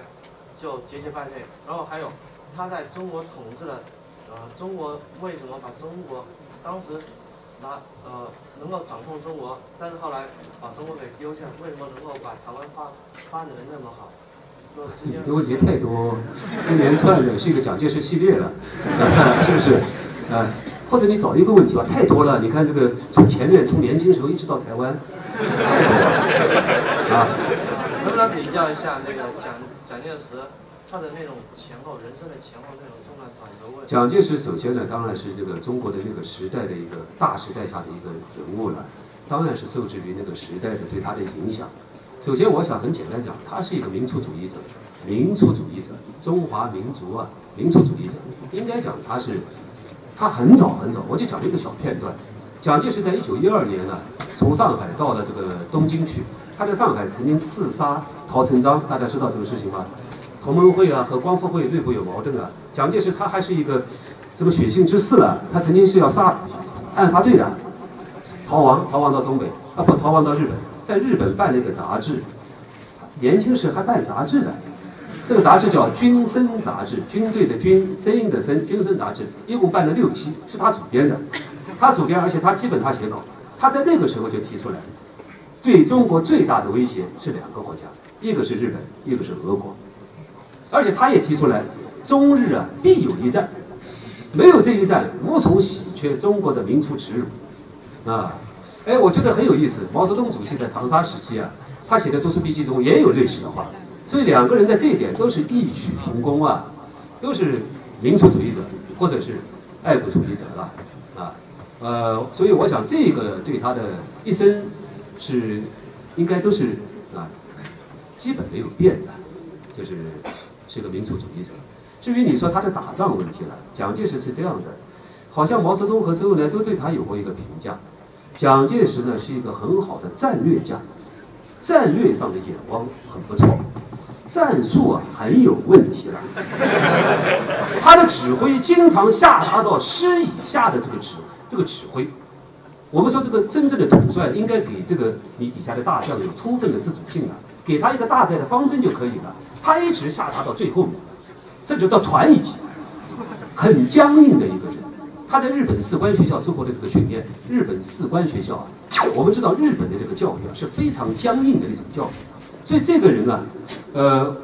我相信毛主席和周恩来讲的这个都是对的啦，就是战略上的感觉不错，战术上很有问题。至于他的军事上的最重要的一个几个成就，一个是北伐，北伐今天我们也很难说是到底蒋介石指挥怎么样怎么样呢？当时的基本上的北伐的所有的军事计划，都是加仁将军为首的苏联顾问团制定的。苏联顾问团制定的，这是北伐这一段时间。抗战时期当然打了很多仗，那么这些仗有胜的，也有也有失利的。解放战争中间没有什么成功的，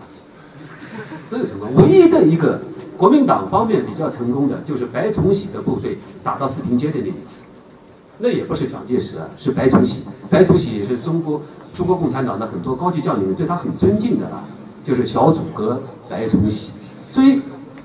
蒋介石到底军事上怎么样？我我我自己也感到疑惑。所以我不认为他军事上有什么有什么一个很特别的一个什么他的长处。他在十年内战时期主要是靠德国部门，北伐是靠苏联部分。这个。解放战争时期，四五年以后，当然有美国人给他一些帮助，但是那个仗基本上是他指挥打的，啊，临阵又是换将，一会儿换这个什么熊式辉，一会儿换陈诚，在东北，啊，有些问题，应该讲有很大的问题，所以我就回答你这个关于军事上的。至于你刚才讲的什么台湾那些东西太多了，好吧？给同学其他同学已经清楚。好，高先生，我有两个问题要问你，就是第一个问题就是四五年之后抗日胜利，嗯，和谈国共那，如果要是从中国这个大全局、大基础、大社会这个概念来讲的话，国共和谈有没有成功？能不能形成两党制？第二个问题就是根据那个黄仁宇先生的大局主观，他认为这个国共在抗日这个两大贡献就是共产党的话是构建了基层结构，国民党构建的是上层结构。呃，国民党因为失去了基层，所以失去了天下。你对这句话怎么评价？先讲黄仁宇的，黄仁宇这个看法有道理的了。黄仁宇这个人呢，他不是一个单纯的学者，他年轻时候是从军的，在国民党地区军官，他对国民党的这个运作的基本东西是有深切的感受的，啊，他写过的那几本书，什么通过蒋介石的日记，叫什么什么名字了，我记不清楚了，就对蒋介石日记啊，他有一个分析，啊，他有很多书，这个看法是有道理的。就是刚才我也讲的，国民党的基本上的改革很少深入到社会基层，共产党是到基层去的。至于国民党是不是贡献了一个上层结构，这个呢，呃，还可以研究研究了。近代以来，这个上层结构，整个我们中国的政治架构了，不是从国民党时候开始的，是从满清清朝的后期，清末新政就开始了。是不是国民党贡献的？我觉得存疑，啊，所以这个是我回答你的这个。倒过来回答，第一个黄仁宇的问题，第二个你刚才讲的，一九四五年国共和谈有没有这个成功的可能？国共和谈可能主要取决于国内的、国内和国外的这个环境的制约啊，那个条件，啊，我认为这个只能是这两党啊长期兵戎相见，啊，斗争是绝对的，啊，妥协是暂时的，妥协是暂时的，啊，一九二七年以后啊是血海深仇。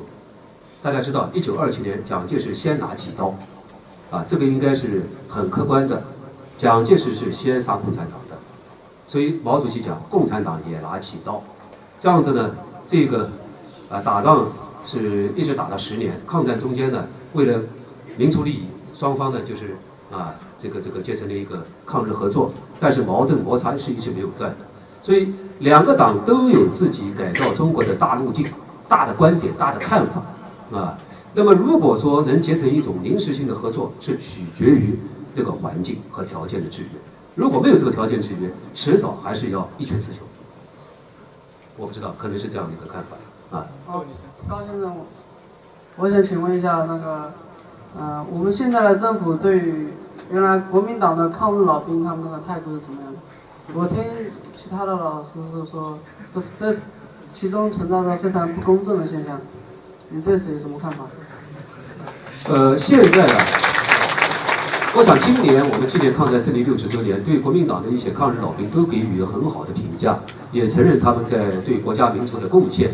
那么这是现在我们是给予比较好的这个评价的，我认为这个是事实啊。你们可以看，不管是我们身边的还是有关宣传，但是过去为什么呢？过去是存在着你刚才讲的情况，主要的是这些。国民党的这些抗日老兵啊，很快的到了一九四五年以后，到了国共内战的战场，他们又成了反共的国民党军队的那些成员。所以建国以后，在一系列的社会改造运动中间，就不可避免的触及了他们，就把他们抗日的那一部分呢，就淡化和模糊了，凸显了他们在四五年的剿共啊、反共啊、淮海战役啊、被俘啊这一面。所以我们考察这段历史的时候呢，不要忘记那个前面的。国共的那个那个冲突斗争的历史，今天事过境迁，又过去抗战过去这么多年了，国共内战早就结束这么多年，台湾的情况又发生这么大的变化，所以呢，今天啊是另外一个态度，啊，我我个人体会是这样子的，啊。我想问您一下，关于连战访问大陆以后，国共的关系的变化，请谈谈您的看法。啊，连战连战这个，我见了很多台湾朋友了。我去年在上半年在台湾半年时间，台湾的大选期间我都在台湾。那么在这个三二零大选前几天，三幺三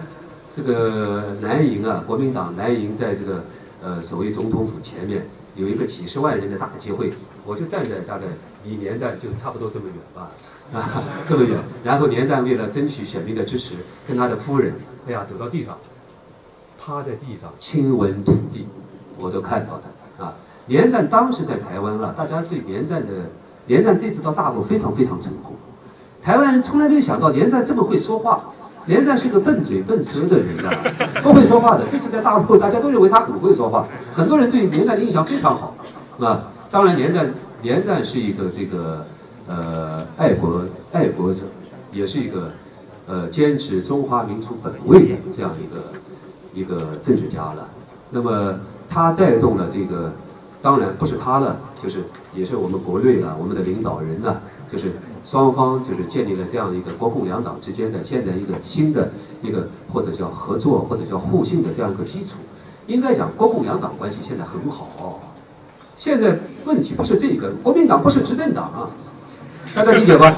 国民党不是执政党，国民党现在这两天同学们知道，十二月初就是国民党县市长，就是台湾县市长竞选。国民党在一些县里面是领导权，啊，有些县市是由民进党执政，有些县市是国民党执政。呃，当然，作为我个人是非常希望国民党能够这个零八年能翻身呢，但是呢，可能随时都会有新的变数。再加上马英九，马英九先生，当然我对他印象非常好，很多我们国内的同胞对马英九先生印象也很好。可是马英九太书生气啊，书生气大家知道吧？陈水扁多厉害呢？陈水扁是黑白通吃，就是什么非常厉害。陈水扁像个革命家，马英九是一个啊，是一个书生，是一个非常好的官员。所以马英九这样子能不能整合国民党，能不能在零八年就卷土重来，都是未知数啊。所以希望国民党能执政，因为国民党到今天为止，起码它叫中国国民党，对不对？就是两海峡两岸还有个基础，有一个一个中国的这个基础啊。嗯，高教授你好，我就刚才说了，国民党黄金十黄金十年，他那个教育办的还是不错的。那么我也听说，在抗战期间，国民党除了把财政投资投资于军事之外，就是投资于教育。那么您认为国民党在教育方面它成功的地方在什么？另外，对于我们现在政府就是对于教育投资这么少，那您认为我们应该吸取什么教训？嗯，第二个问题，我先够了，够了，你这个问题就很多了，两个了。好的，我现在你后头一个问题了，我真的没有什么研究啊。你们这个教育系的同学，可能教育系的老师也有研究，没有没有研究就不能发言。我真的不知道我们今天教育经费有多少，所以这个呢，真的请同学抱歉。我回答你第一个问题，就是抗战中间国民党对教育方面做了哪些事，应该给予他一个什么样的一个评价的问题。应该客观的说，国民党在八年抗战中间还有一件事，刚才我是没有时间讲的，是做的很不错的，就是在教育。我们知道抗战使中国教育发生很大的变化，中国教育从此有三块教育，一块教育就是共产党革命根据地的那个教育，第二块教育是沦陷区教育，第三块教育是大后方教育。大后方教育，蒋介石当时任命谁？任命他的最亲信陈立夫做教育部部长。陈立夫在八年抗战中做了七年半的教育部长。陈立夫今天回首他一生，好像失败为多，但是他比较成功的是八年抗战。八年抗战中间，国民政府对教育在当时情况非常差的情况下，可能和陈立夫也有关系，倾注了很大的力量。有一点印象给我非常深刻，国立的大学、国立的中学，基本上啊，这个学费是免的，或者是很少的，甚至是很多国立学校伙食费都是免的。所以在最困难的情况下，在还为国家培养了很多人才。所以陈立夫自己讲，他在抗战中间，他去了很多大学和中学去视察。虽然同学们吃的都不太好，啊，青菜啊，什么萝卜了，但是有饭吃，啊，没有因为抗战，没有因为家穷，就是呃在学校读书饿了肚子，是政府在当时最困难的情况下，还拨出了款项支持教育。所以这一点呢，我想，这个应该说是做了一件好事的，啊，应该给予一个正面的一个评价，啊。我我不知道是哪应该是哪一个先讲。好，你先哎，说。高老师您好，我想问一个问，我问个问题，就是有个观点说，就是关于整风运动的，就是整风运动是虽然给以后的共产党带来了不好的影响，但是使当时使就是把共产党变成了一个行动和思想高度统一的一个团体，然后客观上保证了共产党的利益最大化。那您是否同意这个观点？还有一个问题就是，呃，关于是新四军说是毛泽东故意调遣新四军去刺激国民党，然后促使国民党进攻新四军，然后达到毛泽东解除党内异己的目的。您是否同意这个观点？谢谢。第一个问题呢，我想你刚才讲的差不多了，就是呃整个运动啊，对于实现党的思想和组织的统一，那么对于以后中国共产党的成功和胜利呢，是起很重大作用，这个没问题啊。所以这个问题给你回答到这儿。第二个问题呢，这个那是一种说法，只是一种说法，缺少很多的材料的事实的证明啊。所以我们谈论问题的时候呢，还是要建立在一个那个资料的，不仅资料要有资料，还要对资料进行考辨，还有互相对立的资料要进行分析。所以后面这个呢是一种推测，当然它有一些线索。所谓线索是什么呢？因为人们都啊呃了解到了毛泽东和项英之间是长期有矛盾的，相因啊是有矛盾的。那么呃曾经两人的矛盾还比较多啊等等等等。那么从这个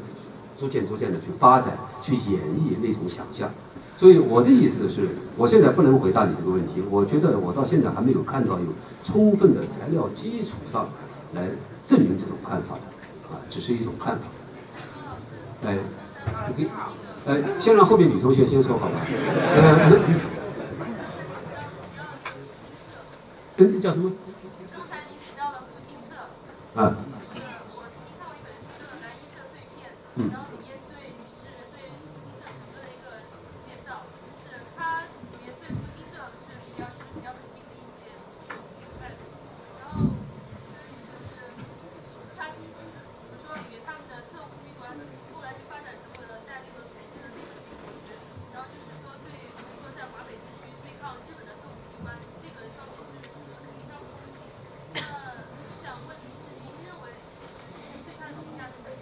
好的，好的。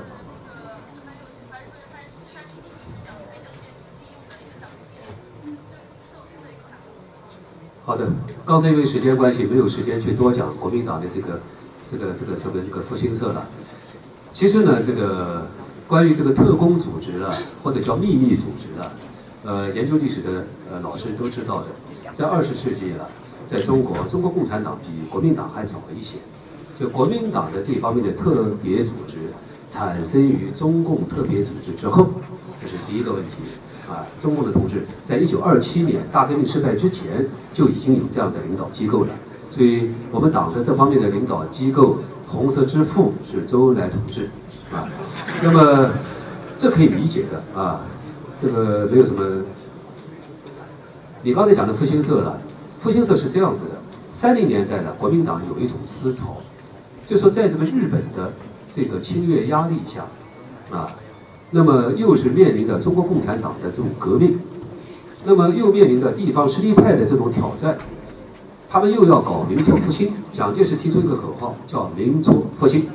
民族复兴。那么蒋介石呢，刚才我们也是没有时间讲，他除了讲三民主义以外，他对三民主义做非常通俗的，甚至是庸俗化的解释。他也试图把它和传统文化结合在一起。他说，中国民族复兴呢，应该是恢复礼义廉耻四维八德。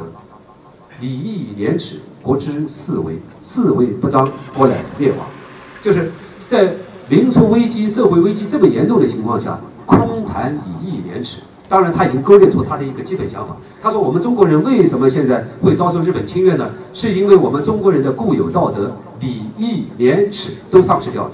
因为我们缺乏民族自信心，所以我们一个是吸收了一个西洋来的坏思想自由主义，第二个我们吸收从苏俄来的坏思想共产主义，所以我们应该建立以中国正统思想，从孔夫子到孙中山的正统思想作为我们的指导思想。蒋介石说了，他说了很多话。那么为了配合他这一套东西，他有一个民族复兴运动，民族复兴运动。民族复兴运动不是光说说，它必须要有人来操作。操作的人呢，就是刚才我讲的三民主义力行社，它是一个核心组织。三民主义力行社当时很多人不知道的，它的外围组织是复兴社、蓝衣社，它是一层一层的。复兴社的成员是一般性的，也包括一般的大学生啊、一般的知识分子啊等等等等，它是一层一层的三级组织。那么复兴社它主要做的工作，一个是反共，第二个是反日，第三个是反地方军阀，三个工作。你刚才提到的就是抗战初期，蒋介石留在这个上海地区、南京地区，包括北平的，留下一些复兴社的特工人员，他们做一些刺杀汉奸的工作，是有这么回事，啊。那么我个人理解，他们都是还是爱国志士的，啊，因为他们是。啊，这个刺杀的是汉奸呢，都是大汉奸啊，等等等等的。所以复兴社他们有过这方面的一些事情啊，呃，所以你刚才讲的这本书，是不是从这个意义上，他们肯定了复兴社的那些的爱国行动呢？大概是这样，好，是不是这样？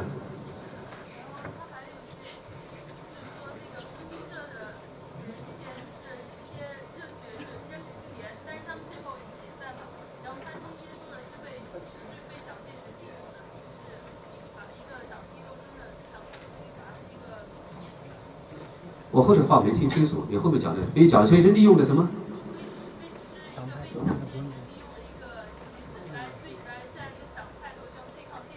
啊啊啊啊！那是他对作者的一种解释了，啊。哎，高老师，我我问一个嗯奇怪一点的问题，我在不要奇怪吧？呃，我在这个嗯那个网站上，那个他那个现在那个日本教科书不上网网站，我把那个日本教科书看了一下，它上面是这样讲的，他说。呃，日本为了实现那个大东亚共荣，说是把军队开到东南亚的这些国家，呃，受到了当当地人民的支持，还说是受到这个呃中国当时的这个伪政府汪精卫伪政府的呃支持。就是您对这个他这个汪精卫他这个伪政府，您您是怎是是这个怎样看的？啊，好的。第一个，你刚才讲的，先回答你第一个问题，就是日本的这个侵略，在一九三七年以后呢，它不仅侵略中国，它一直侵略到南洋。他侵略到英国的殖民地，原来的殖民地，缅甸、新加坡等等地方，包括侵略到当时的荷兰殖民地，今天的呃印度尼西亚，在这些国家，原先都存在着一个反英反荷的这种民族主义运动。同学们还理解吧？比如说印度尼西亚的一个开国之父叫苏加洛，我们很多老同学知道苏加洛总统。苏加洛是印度尼西亚以后四五年以后的总统。苏加洛他们当时都是对日本来的人啊，他们被日本所欺骗。日本当时为了迷惑这些第三世界的东南亚国家的人民，他们说我们要驱逐白人帝国主义，白人帝国主义了。他们是用这个东西作为一个掩护的，就是在缅甸、在印度尼西亚都有一些人曾经短期内对日本的这个面目看不清楚，但是很快他们以后都看清楚了，所以他们既成为反日的，又是反英的。都是二战以后东南亚新兴民族独立国家的啊这些领领袖人物，这是我对就是当时的这个所谓大东亚啊驱除白人帝国主义啊这个这一个一个看法。至于你刚才讲汪精卫，汪精卫这个我个人是我认为在我这儿没有任何问题，他是个汉奸。哎，我一点呃，今天很多人为汪精卫什么鸣冤叫屈啊，呃，我不知道他们是怎么想的。就是汪精卫确实是在一些重大问题上，他越过底线。我们知道人有一些底线是不能越过的，民族大义这个底线不能越过。蒋介石是欺负他，是真的多少年欺负他啊，打压他，这些都是是事实。但是在认贼作父这个问题上，你不能下海，不能下水，大家理解吧？就是虽然你有千般的委屈，万般的痛苦，但是你不能去投靠日本人。所以我觉得汪精卫他一旦越过这个线，他真的就是中华民族的罪人。所以我不同情他的那个痛苦啊，他的那个什么忧虑啊，不同情啊。他是在大节问题上是是犯了一个犯罪的。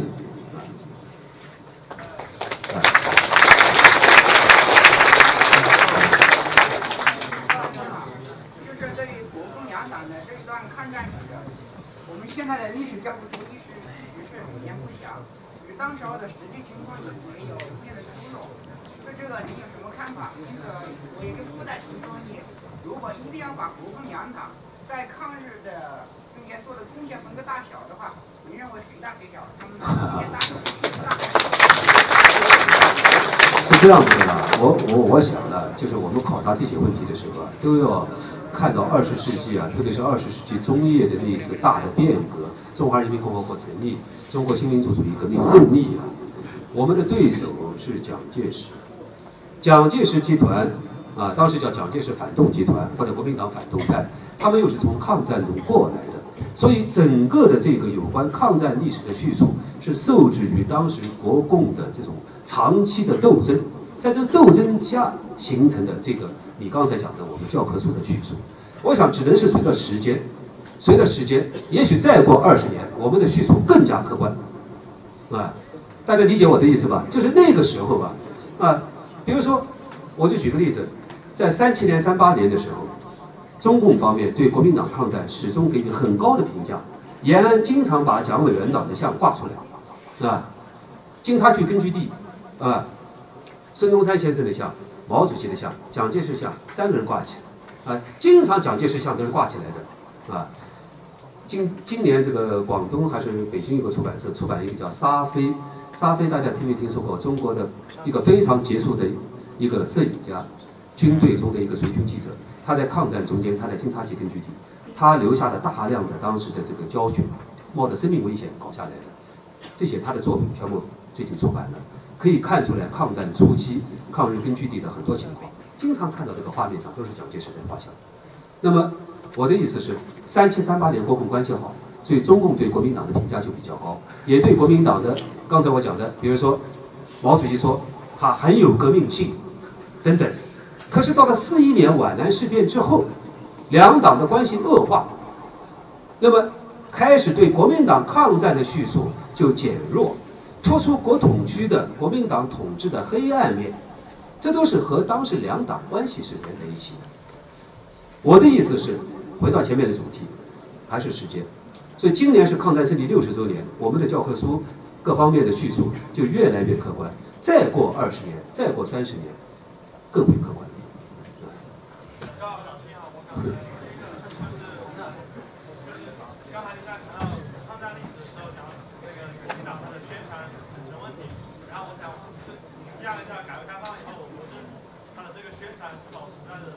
我们还是围绕这个抗战谈吧，哎，不谈现在，好不好？哎，抗战吧。啊。